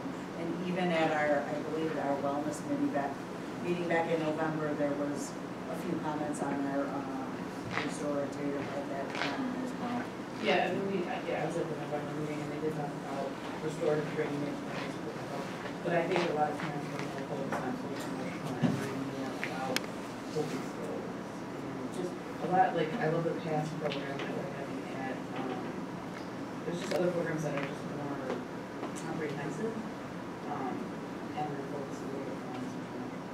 So I was just wondering. Sure, sure. So I, I do want to, you know, give a lot of credit to Hillary Kretz Harvey in, in 2019, when she first started as uh, assistant principal, she worked with Mike Lauria to talk about providing uh, professional development for the high school. To, to that end, uh, not only was she able to do some of that before COVID in 20, you know, 2020, but we were working with other school districts who came for the training besides our own district. So it was pretty, it was pretty exciting see the regionalness of this concept. There are two elements to the restorative circles. Uh, one element is purely built around social emotional learning that has nothing to do with restorative practices. Okay, and I would just I brought up this um, I brought up our website because uh, the high school did a podcast with me. Um, or,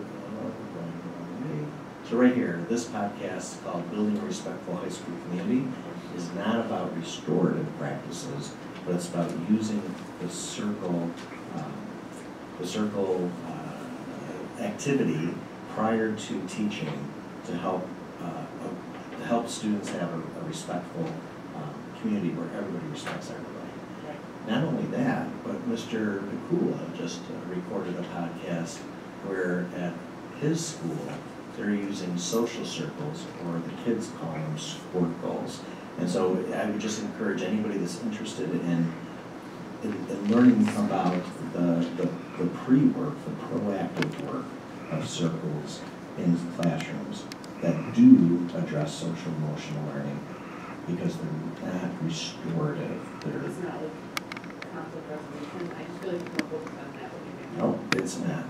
However, there's another component where kids can come together and do a restorative mediation if there's conflict. But set that aside in the, in the parking lot. The real meat and potatoes of the work is done in the classroom before there's a conflict. And it's done in, at the elementary, in the middle, in the high school. But it's a journey. It's gonna take a long time for this to become a, a practice every day. So it's a good program, it's definitely, if you get a chance to listen to those two podcasts, Um, And if anybody here in the board or the community has questions, I know we can direct you to the right person to answer them. Okay? Can I Sure. just add one thing to that, because um, we have now trained two cohorts of restorative, restorative practices, and our first cohort was, as Brian said, split between us and another district, so we really only had I think, ten to twelve teachers that were trained in there. Our second one was really focused on our mental health workers, our social workers, our administrators, and so this one, would the next one would be to focus on our teaching staff. Um, we actually have one planned for this June, which is on our title grants that we planned for last year. So the title grants actually run from through the summer to the next year, so it's, it's more of September to August running. So we actually have accounted for that last year's budget. And this would be to hopefully have another cohort, but we're gonna monitor and see how many people are interested this summer, because if not, not enough people are interested this summer, we may not even use it for that. We also always could go back and rethink what that designated money could be used for, for social emotional learning, but it is targeted for social emotional stuff. Right, yes, and that, I don't know more about where it could be, I just wanted to get more comprehensive. I would encourage anybody to listen to Max's podcast from last week because he had three fourth graders and in their own words talked about the power of what they call squircles because it's a square and a circle where they said it's kind of funny. But when you listen to their own words, uh, it, it, I think it'll actually answer your question and how powerful that social emotional learning is. Yeah, so it's, it's definitely uh, something to, that we're proud of, and it's kind of cool that we have kids speaking in their own voice and sharing their perspective. Cheryl, you have some, some- you have something to share? Yes. Um, so at Huth, we have thirty-three special education students, twenty-six in a co-teach, seven in a self-contained. And at Kaegebein, we have 37, 23 co-teach, but we have fourteen self-contained, which is why we have the two self-contained rooms over at Kaegebein.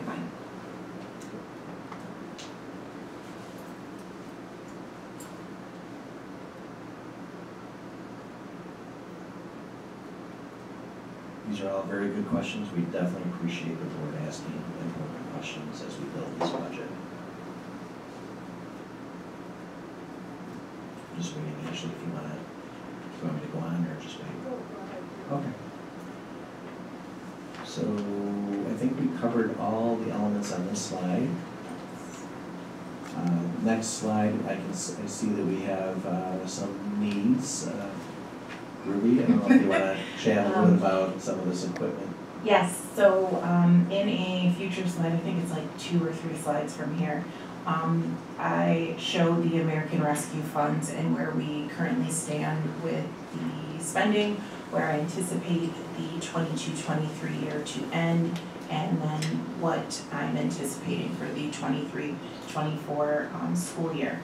So through that review, there were two items on here um, which was, I'm just making sure I'm mentioning the correct ones.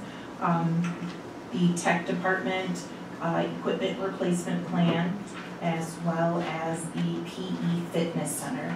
So I was able to take the first year of those replacement plans and put them within, um, American Rescue funds. That allows really two things. Um, number one, if, if and when, um, the board approves and then the community votes and says, this is good to go, we can actually start that purchasing process, at least for PE, because that's the entire amount they need earlier.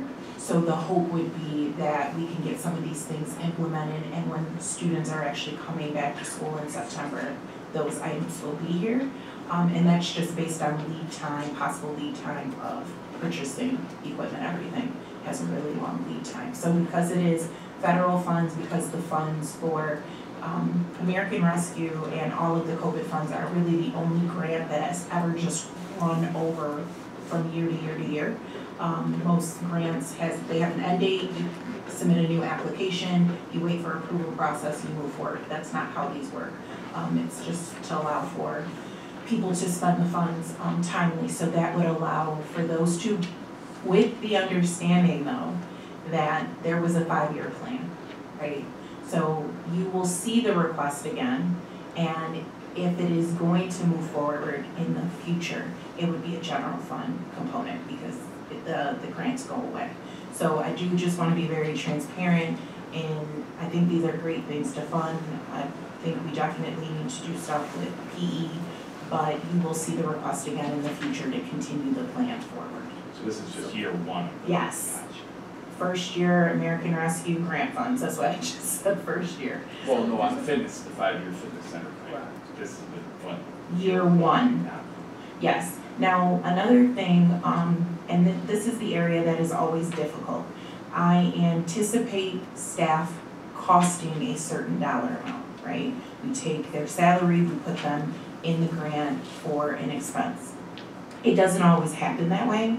Um, people can transition to other jobs. Uh, people can go on a unpaid leave, right? Or, uh, funds can be set aside where we do, uh, summer school is a perfect example. I may think summer school may cost eighty thousand. It may come in at sixty thousand. I, I never really know that until that program runs. So what will occur, at least at the end of the summer, is I'll do a review of summer school to see where that stands. Um, if we don't spend it all, could it be allocated to assisting with an additional component of PE or other? Yes. And then the same thing would be done again as you get closer to the end of the grant or planning year, um, to see if we can spend down the funds, because that's the goal to, to do a max spend of the funds. This American Rescue, we had to allocate every dollar. right? Correct. So now we have this money for these two programs. What have we removed that we originally thought we were going to use the funds for when we first had to get the report? Great question. So I would not say we have specifically removed anything Said it the last. Yes, I did. So what occurred was through the review process, um, when we originally planned with Amer, planned for the utilization of American Rescue Funds, there were summer programs that we planned K twelve for the entire three years of the funds. We did the summer school program, um, yes, oh, I thought you were saying. No, no, Give me a minute. Um, we did the summer school program year one. Um, I think by year two, there was not, or it didn't seem as if there was enough traction or interest. In that, outside of just budgeting for the teaching staff, we budgeted for transportation costs. So when that fell away, that allowed for additional funds to be available. So even though we may have picked up other things in the midst of that. Um, I know that there, through contract negotiations, there was some shuffling that we did, um, for a, uh, Retention stipend. Thank you. And um, so we did those movements, as the board knows. But um, this is after reviewing all of those areas, um, which I go into a little bit more detail in the future slides. But it's just simply me taking what we've spent in year one and what I anticipate for year two, and then comparing it to what I thought we were going to spend in those year, in those years. So this coming summer, will that be our third year for the summer school program or the second? It will be the third. So we lost traction in year two.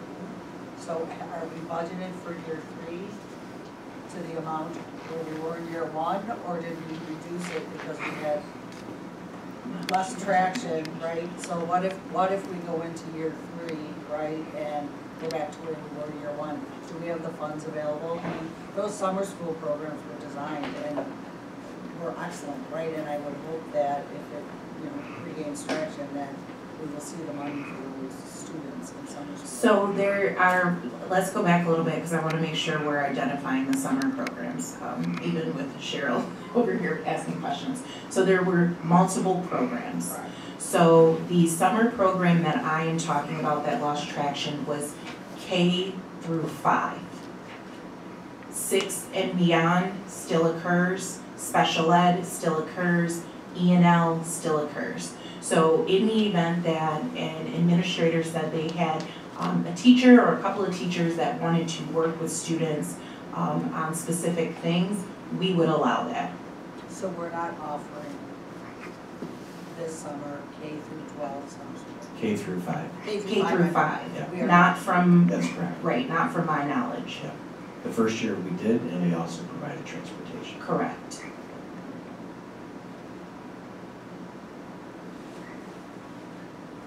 But I, I do want to emphasize what Ruby just said. If a principal came to us and said, I have five children in my school that need summer academic intervention, K to five, we would take care of that. Correct. So what if a community member or community members came and felt that their kids K through five needed some extra help Yeah, they would- with summer school, right? I mean, I, I appreciate it coming from the administrators. I just feel like we lost traction and if, if there's a need, I would really hope that we would put that back out. and- I think, I'm pretty sure that was, uh, discuss, like, I don't want you to think like, I'm just saying it lost No, I- traction. It no, was I'm a, just- a large no, no, discussion no, I- I- with administration. I just want to make sure, I mean, um, We would accommodate any request for teaching or tutoring over the summer as, uh, if the principal endorsed that request. Through, like you said, Sue, if a community member, being a parent, went to the principal and said, I need, my child needs X, then they, the principal would share it with Cheryl, Mike, Ruby, and then we would figure out a way to provide it. But to run an entire summer school no, program no, for I six weeks appreciate that. I'm was- just yeah. trying to make sure that, you know, it was. I- I- And I that, think that it's a was great told question, to, and our um, principals should pay attention to that, and please communicate with us if there's a need for tutoring uh, at that elementary level, for sure. And I get needs change, I just want to make sure that in the event that we feel that we have. Yes. Because at that grade level, that, that, that money will be pulled back, or however you. um, All right, thanks. Not a problem. Sorry. No, that's okay. That was longer than I. No, that's good. I know, Ashley, you might have a question about the trails. Uh, well, I, So I have one more quick question. I was going over the numbers, Cheryl, that you, that you gave. The thirty-three teachers at Huth, um, thirty-three at, uh, students at Huth, seven self-contained. So that left twenty-six and like a consultant teacher, kind of a model. Integrated. Right, integrated co-teaching, call it, okay. So of the integrated co-teach then, the other four teachers are divided amongst those students, the special ed teachers then, so it's six to seven students per special ed teacher, is that how it works? Because if you have five teachers at Huth, one of them's with the self-contained students, Correct. and then the other four are in the CT program. And then, so for Kaegebein, you have, um, thirty-seven students, um, fourteen in the self-contained. So you have two teachers with the self-contained, because you said they're divided. So then the other three teachers are divided amongst the twenty-three consultant teachers. So there's seven to eight students per CT.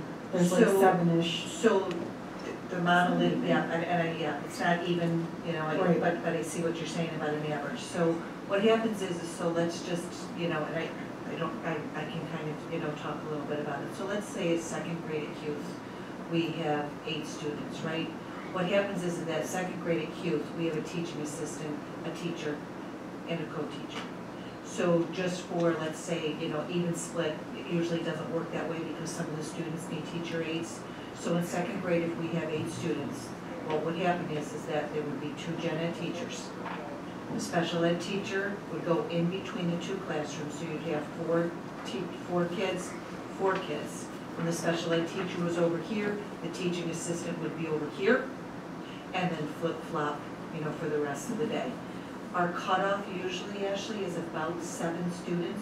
So if there are seven students in a grade level, give or take, you know, it could be six, it could be eight, but normally we kind of do seven. That particular teacher, so say third grade at Kaegebein has seven students. That special ed teacher, along with the gen teacher and a teacher aide would be in that classroom all day. So you're right, it does fluctuate depending upon how many kids are in that particular grade level and whether we divide it between two, four and four, or if we have all seven together at one time with the two teachers being together all day, including a teacher aide. So that's, you know, it's, it's grade level. If you want me to get more specific, I can provide that information No, as what, well. what's the maximum you can have? I know like in the CT model at the high school, for example, we can have up to 20 20 students per teacher, per special ed teacher on our caseload. What is it at I'm, I'm assuming it's much different at the It is, we level. try, I, I think the I know most. what we try, but like, what is the, what are we required to have? So I, we've never gone over, I'm gonna say fifteen students, like poor Roseanne O'Brien, I think it was either last year or this year, right? I'm looking at Jeannie and I'm looking at Last year, Max. It was last year, she had fifteen.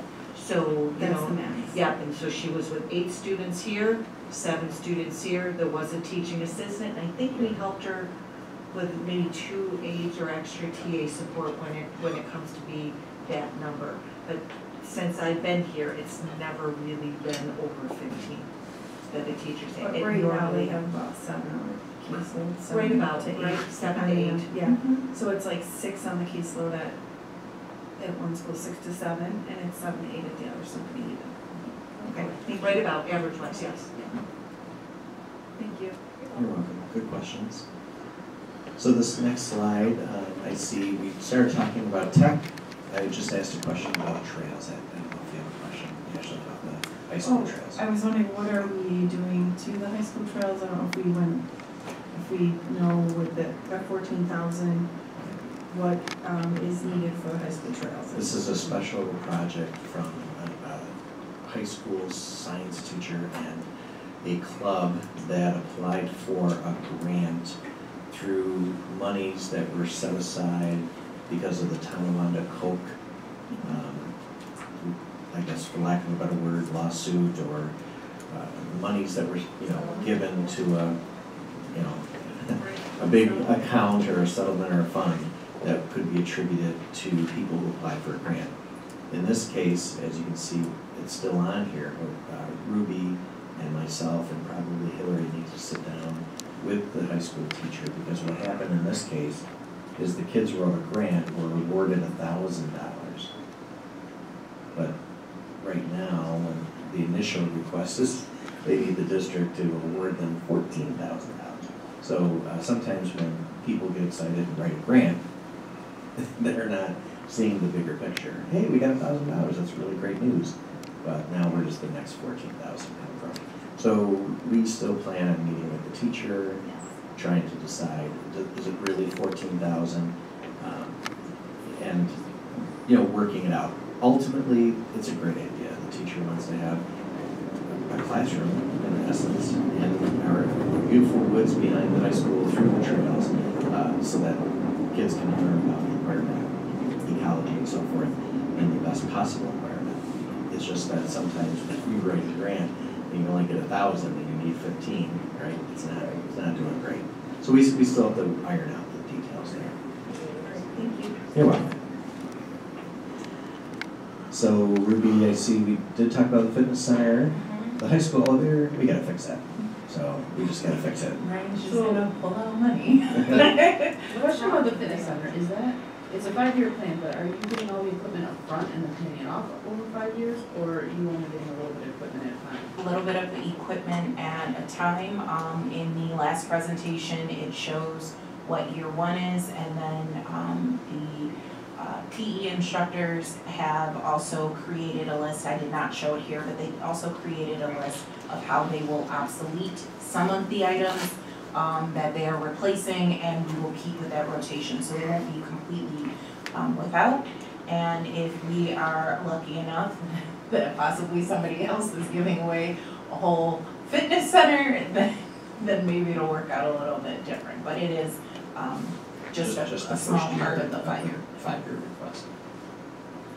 Which stinks in the front, but what's nice is as it ages, it won't You'll get to all do the age in same- the same year. Correct. Which is kind of what's nice about the tech equipment replacement. Correct. Because we bought all of that in the same year, and now it's all needs to be replaced in the same year, which makes it difficult to do replacement. So as much as it stinks for the fitness center, it, and the tech department, at least our replacement will be more staggered when we. I agree.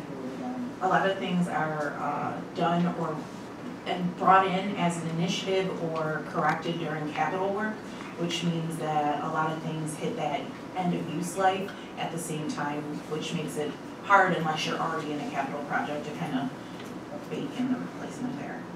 Um, I am still working with our buildings and grounds crew in reference to the high school elevator. We're just working through the process of getting three quotes. You do see a dollar amount here. Um, it will be fixed, uh, if the dollar amount is not too high. Um, I may try to see if it's something we can actually get done this year. If, uh, it is where we are expecting it, um, per this presentation, my thought process is we do have an architect fee line that we keep within the, uh, business and finance area each year. If it's necessary, I can use funds from there, but I'm just trying to see how that plays out. So my initial thought for the next presentation is you will see it being included. My hope is that I can just encapsulate the expense instead of inflating it for a year. Is the elevator operational? I believe it is operational. I truly believe what the issue is, is the technology is so old that it can, like, parts cannot be replaced and it cannot systematically keep up. So the concern is, if we do not do this now, that it will become non-operational and then in that we will have issues because it is an elevator that students would utilize that need it, um, any type of handicap accessible, uh, component as well. So it is something that we're looking into a lot. I've talked about it probably three times in the last two weeks. Is fixing the elevator, would that fall under one of those one hundred thousand dollar capital outlays? I am not I'm just, I'm just asking the positive question of because that. I think our when the bids elevator. come in, if, if the Well, bids were no. closer to say seventy-five thousand, then probably, Yes. Right? I, I know we have other capital outlay, I just, I think that if we find ourselves with an undercarriage elevator, we would be so good. Right now, all I have is a quote. Right, I was just curious if it, if it was been higher, if that was like. Yeah, definitely. Oh, for All sure. three codes For are sure. close to seventy-five thousand. And, um, Is that a second elevator or is that our It's the only only- elevator? Because we need that for ADA, I'm We do, guessing. yeah. Children, Requirements, so we, crutches, we have to have that. Yes, and, and really, um, we did receive a quote, just so the board knows, um, and, and really everybody understands. We received a quote, which is where I got the original dollar amount from, but because it is not on state contract, you are required to get multiple bids. And in getting multiple bids, we are trying to be very mindful of the replacement, so it is not exclusive to one company later being able to replace the item. So there's a lot of, uh, discussion happening. I'm learning a lot in that area as well. So the sixty thousand is for, um, a full replacement, not a repair? It is for the full replacement of the components necessary. And I'm, I'm not an elevator. Except for the guts. Right, I'm We had this at- not an elevator expert. But that, yes, it is not just It's not a- piecemealing repairs. No, it's, it's, But it's not going to be like a brand new elevator, you're gonna have No, it. the No. same, the same compartment will be used. Just the guts will be replaced to make yes, I can get additional info if necessary as well. Also on this, we have, besides the elevator, the vape detectors and youth mental health first aid were rolled into the uh, federal grants. So that helped us out, and the transfer to food service remains a request. That Title Six grant, that's totally different, right? That's like, Title, Title Four? or whatever. Yes. Title IV um, is funds we receive each year. Uh, Off the top of my head, I'm finding it difficult to remember what Title IV is specified for. Mike, I don't know if you remember Title IV? Yeah, there's a variety, a lot of it's professional development, and some of it is designated for supplies and materials, like, for example, elementary, we'll give designations for math, or Okay. there's science kit supplies. Yeah, those are- Yes. Yeah. Like separate from. Yeah, so Title IV is uh, probably one of our smaller um, grants in grant size, but it is, uh, I personally feel it's the most restricted in uh, use- usage of funds, but it is geared very much around um, uh, the core uh, component areas of instruction and professional um, development. I know we go through a lot of that when we are dealing with our non-pubs and helping them identify what they can even use it for when it comes to program, because it's not just all areas. And this is the slide that shows the gap to new requests, Correct. right? So just so that. That's where the three ninety-eight, two hundred and twenty-five thousand comes from. Um, as Dr. Graham said, um, some of these other areas have been, taken into consideration and will be, uh, funded through American Rescue, um, or the, uh, area. And then, um, I did wanna express, even though you do see that the health insurance for drivers and aides is a future consideration, we are working with our health insurance broker on some possible options. Um, collecting all of that information and we will bring that for the board probably for a general discussion at some point and then move that forward how it's selected. But it is definitely something uh, that needs for sure to be a future consideration and um, the dollar amount as well. And it would, it would involve a negotiation Yes. with the SRP. Correct.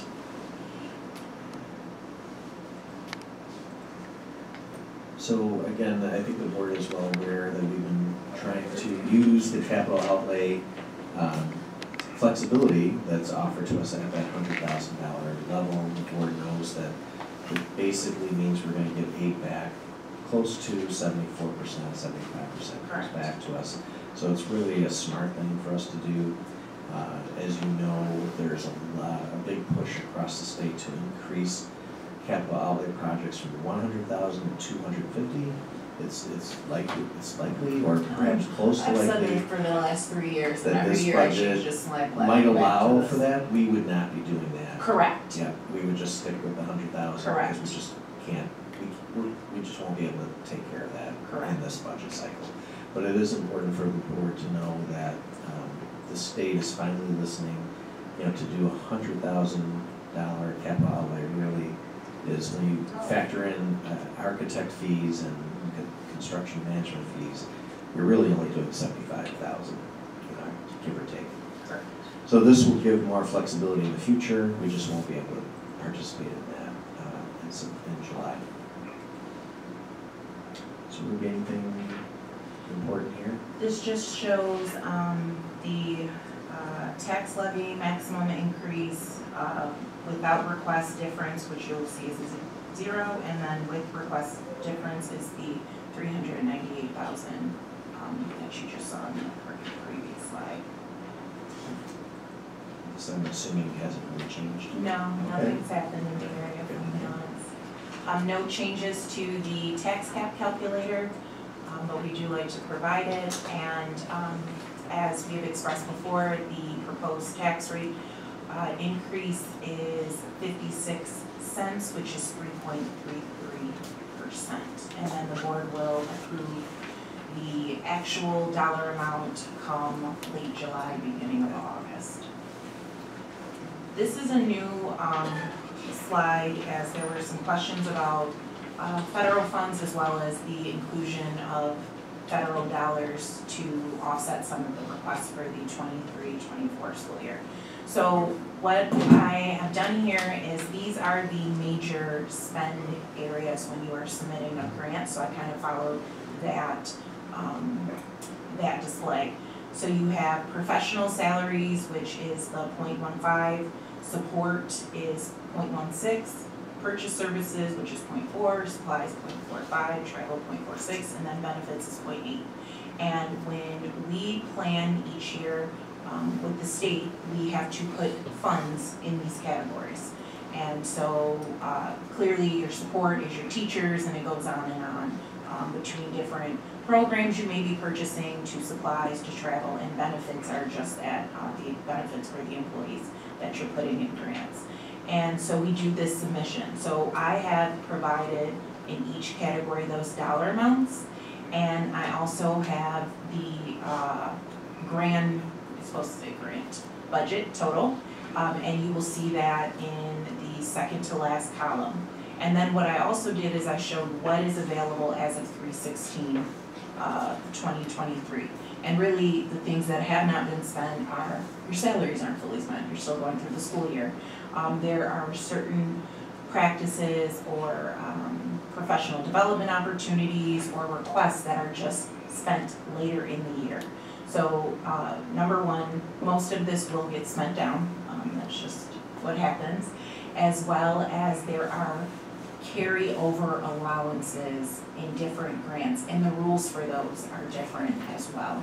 Um, Title I has the most restrictive, you can only carry a certain percentage of the actual budget of that year over into the next year. So we watch them very closely. Mike and I meet couple times throughout the year just to see where he is with spending, um, if there is any carryover that we foresee um, in loss, and we will make sure that we make amendments to spend the money down.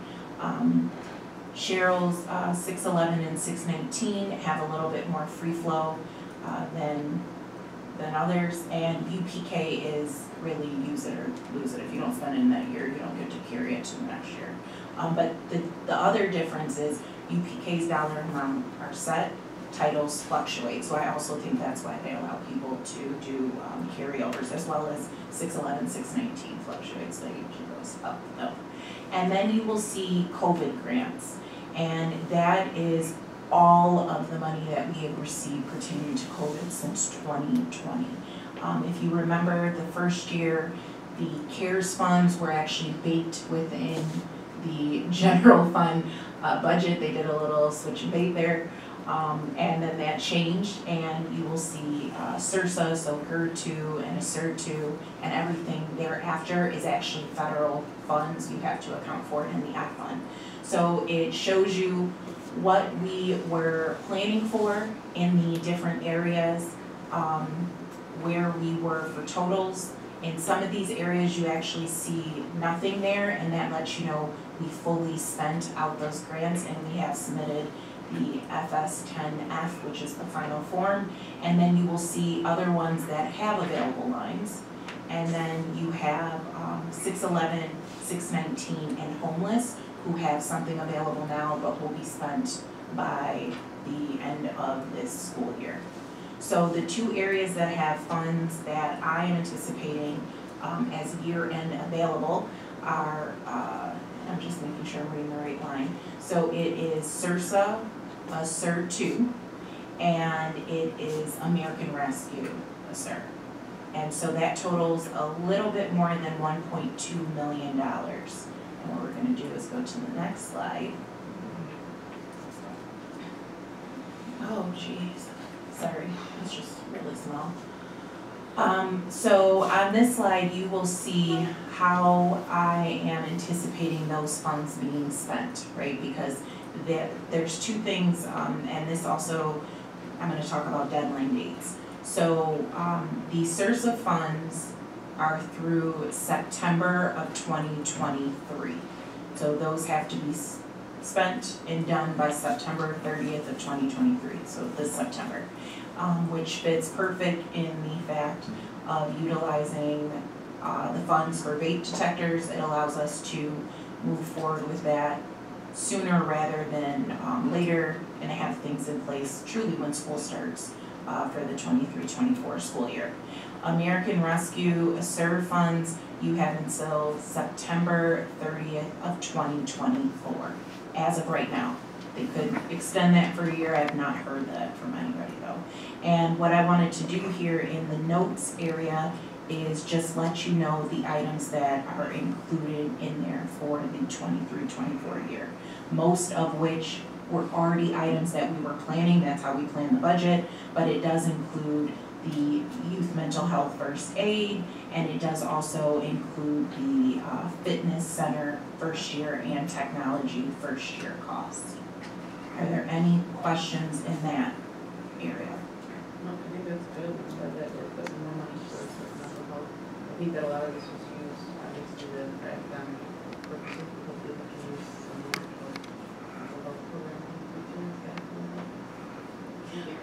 Not a problem. The um, second area just kind of tells you the flow of our normal grants. Um, The grants that we have now and we anticipate uh, continuing, which is, um, some of them are July, um, some of them are September one through August thirty-first, which are the titles. And then you will find others, which is everything else really, that runs July first through June thirtieth. And it also tells you when we do the budget prep for those. And, it- you know, it kind of seems like, oh, you only take thirty days to prepare for a budget. The state only gives you your information about thirty days ahead of time to really work through that. So we do a lot of work, um, in those early couple of weeks in the summer to do preparation for what we anticipate for the, the year. And then this really small, I can't even read it, uh, snapshot here is, is a lot larger on the website.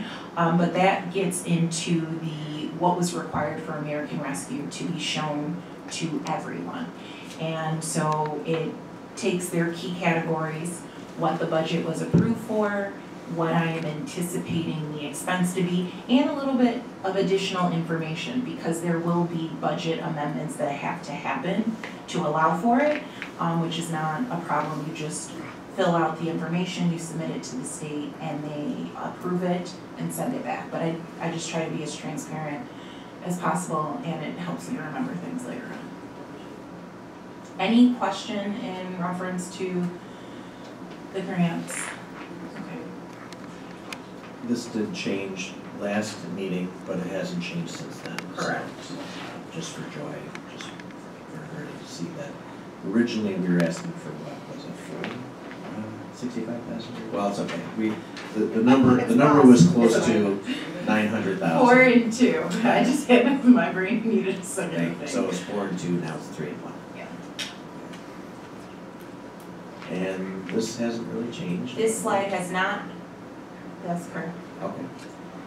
And, Because he moves so quick. yeah, sorry. So I, I think we had a lot of conversation about capital reserve funds, so this is really for the board and for the community, just more of a FYI slide that explains a little bit about that. Yes, process. and, um, and just the benefits of actually having a capital reserve fund. So I won't read this line item by line item, um, but just in reference to clearly less of a burden on taxpayers. And it also will assist with our tax cap calculation. Um, it will assist with our long-range capital planning as we move forward. Um, this, these funds do not have an impact on general fund. Um, we don't have capital reserve funds, sometimes districts are setting aside or anticipating the use of what is future fund balance.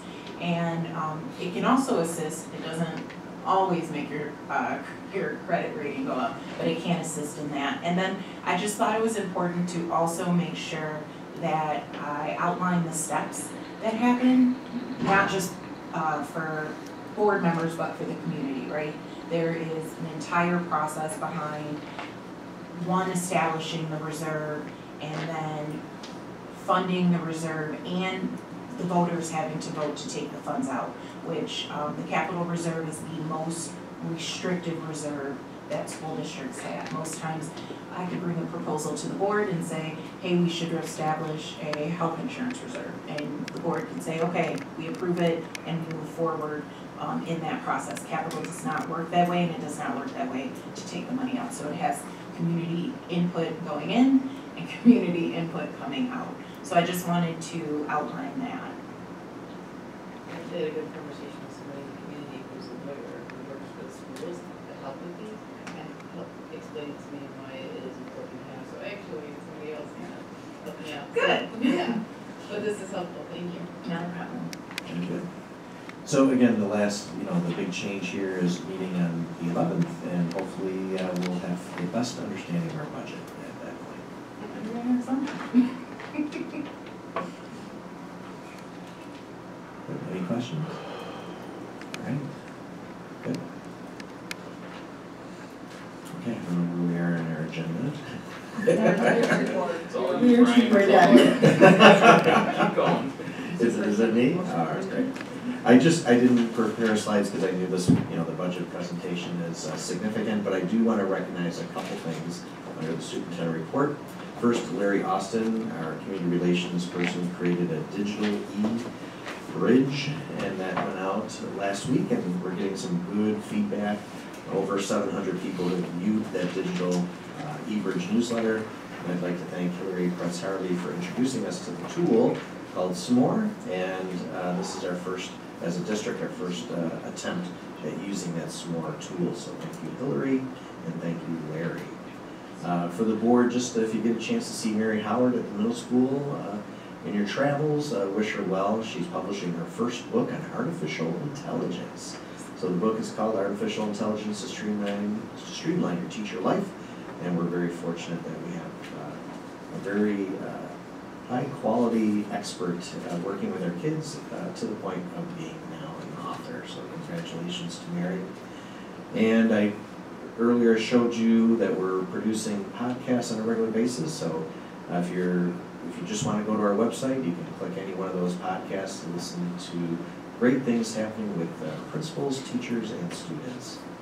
Uh, I do want to thank the board. I know it's late, uh, but at 7 o'clock tonight, the board engaged in um, a retreat where they learned more about um, many of the tools that the district uses to support the safety and well-being of our students, teachers, faculty, and staff, and administrators. So I do I want to thank the board uh, for engaging in that retreat. I think we learned a lot today, and I appreciate the board's proactive approach to safety here in our district, and it was a timely presentation today as well. So thank you to the board for that, and that's all that I have for you today. Thank you. That brings us to the Board of Education report. Uh, the first item is uh, some information at your table. Dave Lowry has um, put in a request to um, serve as the Area One Director. Um, it is uh, retirement for uh, Linda Hoffman's position for the Area One Director for NYSSBA and is looking for a nomination. Uh, this is for information only, but if uh, if we want to go ahead and vote on the nomination now, we can also do that. I'm, I'm fine with I'm moving fine. on, I, I would even make a motion for the nomination for Dave Baldwin. A second? I'll second. All in favor? Aye. Any objections? Any abstentions? Motion carried six zero for Dave, Dave's uh, nomination for the Area One Director. Yes, good luck, Dave. He is wonderful. Um, and then, uh, next on our agenda, we have the wellness program that Sherry is putting together with the committee. Yes, so I, um, who's the PTA put this flyer together, did a much, much better job than I did. Um, yeah, they did such a good job, yeah, it was really good. So I just wanna thank our committee, um, Mr. Antonelli's done a wonderful job bringing so many resources. Um, you can see all the vendors, we have, um, so many coming over, like twenty-five vendors will be there, a lot of mental health, uh, emotional health, um, obviously it comes in all shapes and sizes, so I like that we have an art program, we have music, um, yoga, uh, and then obviously physical activity is very important. So, um, I'm just so thankful to the wellness committee because, um, they've used all their resources, to come up with this in a very short time and done a really excellent job, and I'm really excited because it's a district-wide event, um, which is nice because a lot of events are like for the school, this will be, you know, everybody, um, of all ages that can come. Um, and what I'm really excited about is, uh, nurses from ECMC will be there from the behavioral units to hand out prizes and information to parents. Um, since we, you know, kids get sent there a lot, um, when they're in crisis, so they'll bring a lot of information to our parents. And I love like that connection, I was a board nurse, I'm so excited to have them there. Um, so I wanna thank all the physical education teachers that have been on this committee, they've done just incredible job. Um, I want to especially thank Mr. Buffalani. He's done just a wonderful job with helping us with all the tech problems and um, putting everything together and just being really helpful in there whenever we need him. So he's done an excellent job, so thank you, Mr. Um, but I'm excited and we're hoping uh, Dr. Graham, could send a district wide um, for everybody so that we can, because, um, I think we yeah, from the high school. Um, but this will be district-wide, so that was just kind of, thank you for the high school for sending it out, I appreciate it. Um, so yeah, we're really excited, lots of handouts, lots of free stuff.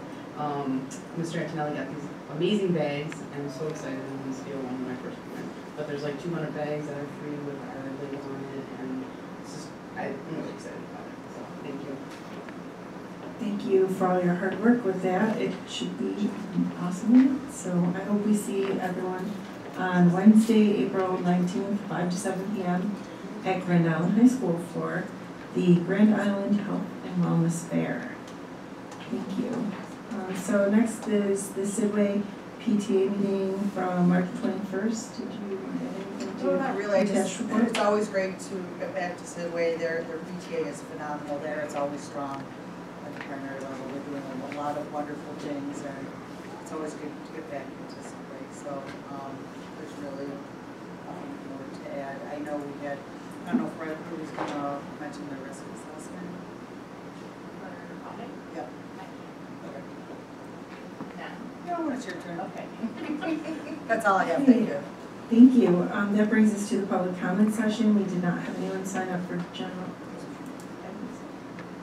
Oh, I thought we were at round table. No, no, we're not allowed to yet. No, We're supposed still to going be. through it. So. we I can- tried. And now we're gonna be getting to it though, because we did not have anyone sign up for public comment session. So now we're at round table. Uh, committee of the whole items information for the round table, beginning with Jane.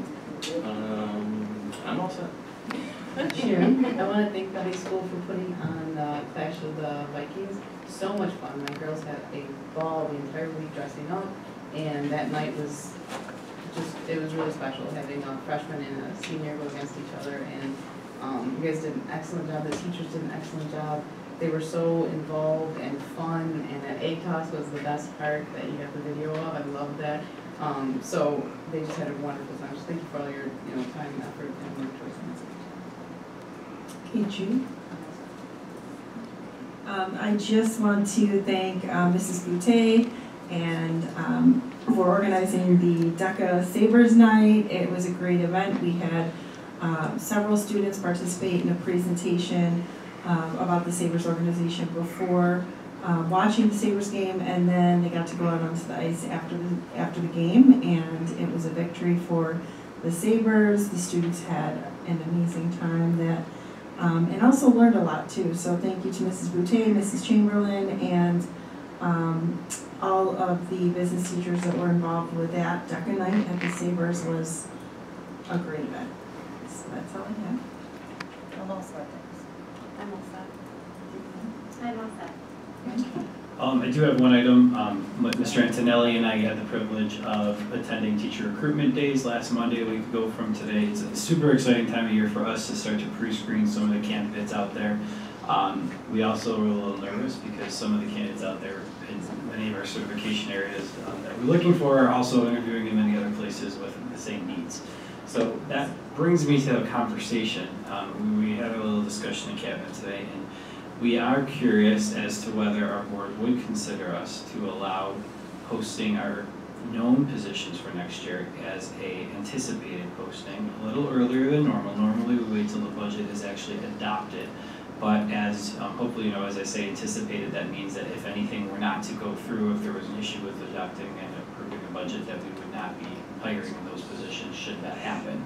Um, so I didn't know if anyone wanted to have any comments, had any comments on that, because I do know that we are hiring in areas that are unique this year, Spanish, high school guidance counselor, middle school special ed, among some other potentials.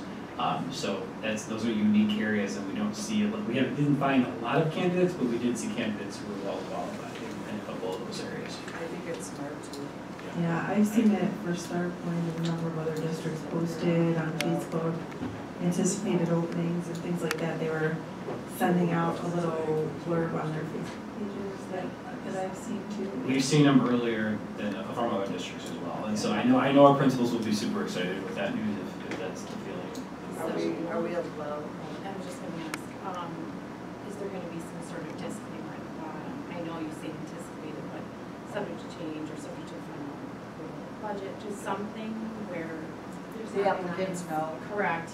I think about reliance on someone believing that, even though the word anticipate is there, just something to let them know that it's pending.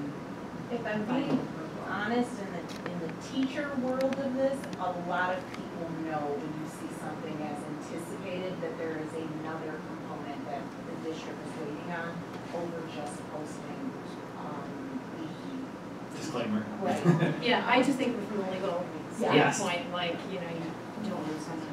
I think we can always just make sure there's. Just a one sentence Alert, thing, just alert. some sort I'll look of- at similar postings, I know some Yeah. people have been more specific with that, and also I know that when, when we get into screening interviews, I know our principals will communicate that, um, at the beginning of those interview processes with all the candidates and say, this, this position's contingent on our budget approval process, so. Um, Thank, thank but you. thank you. Yes, we appreciate that. So anybody object? All right, thank you very much.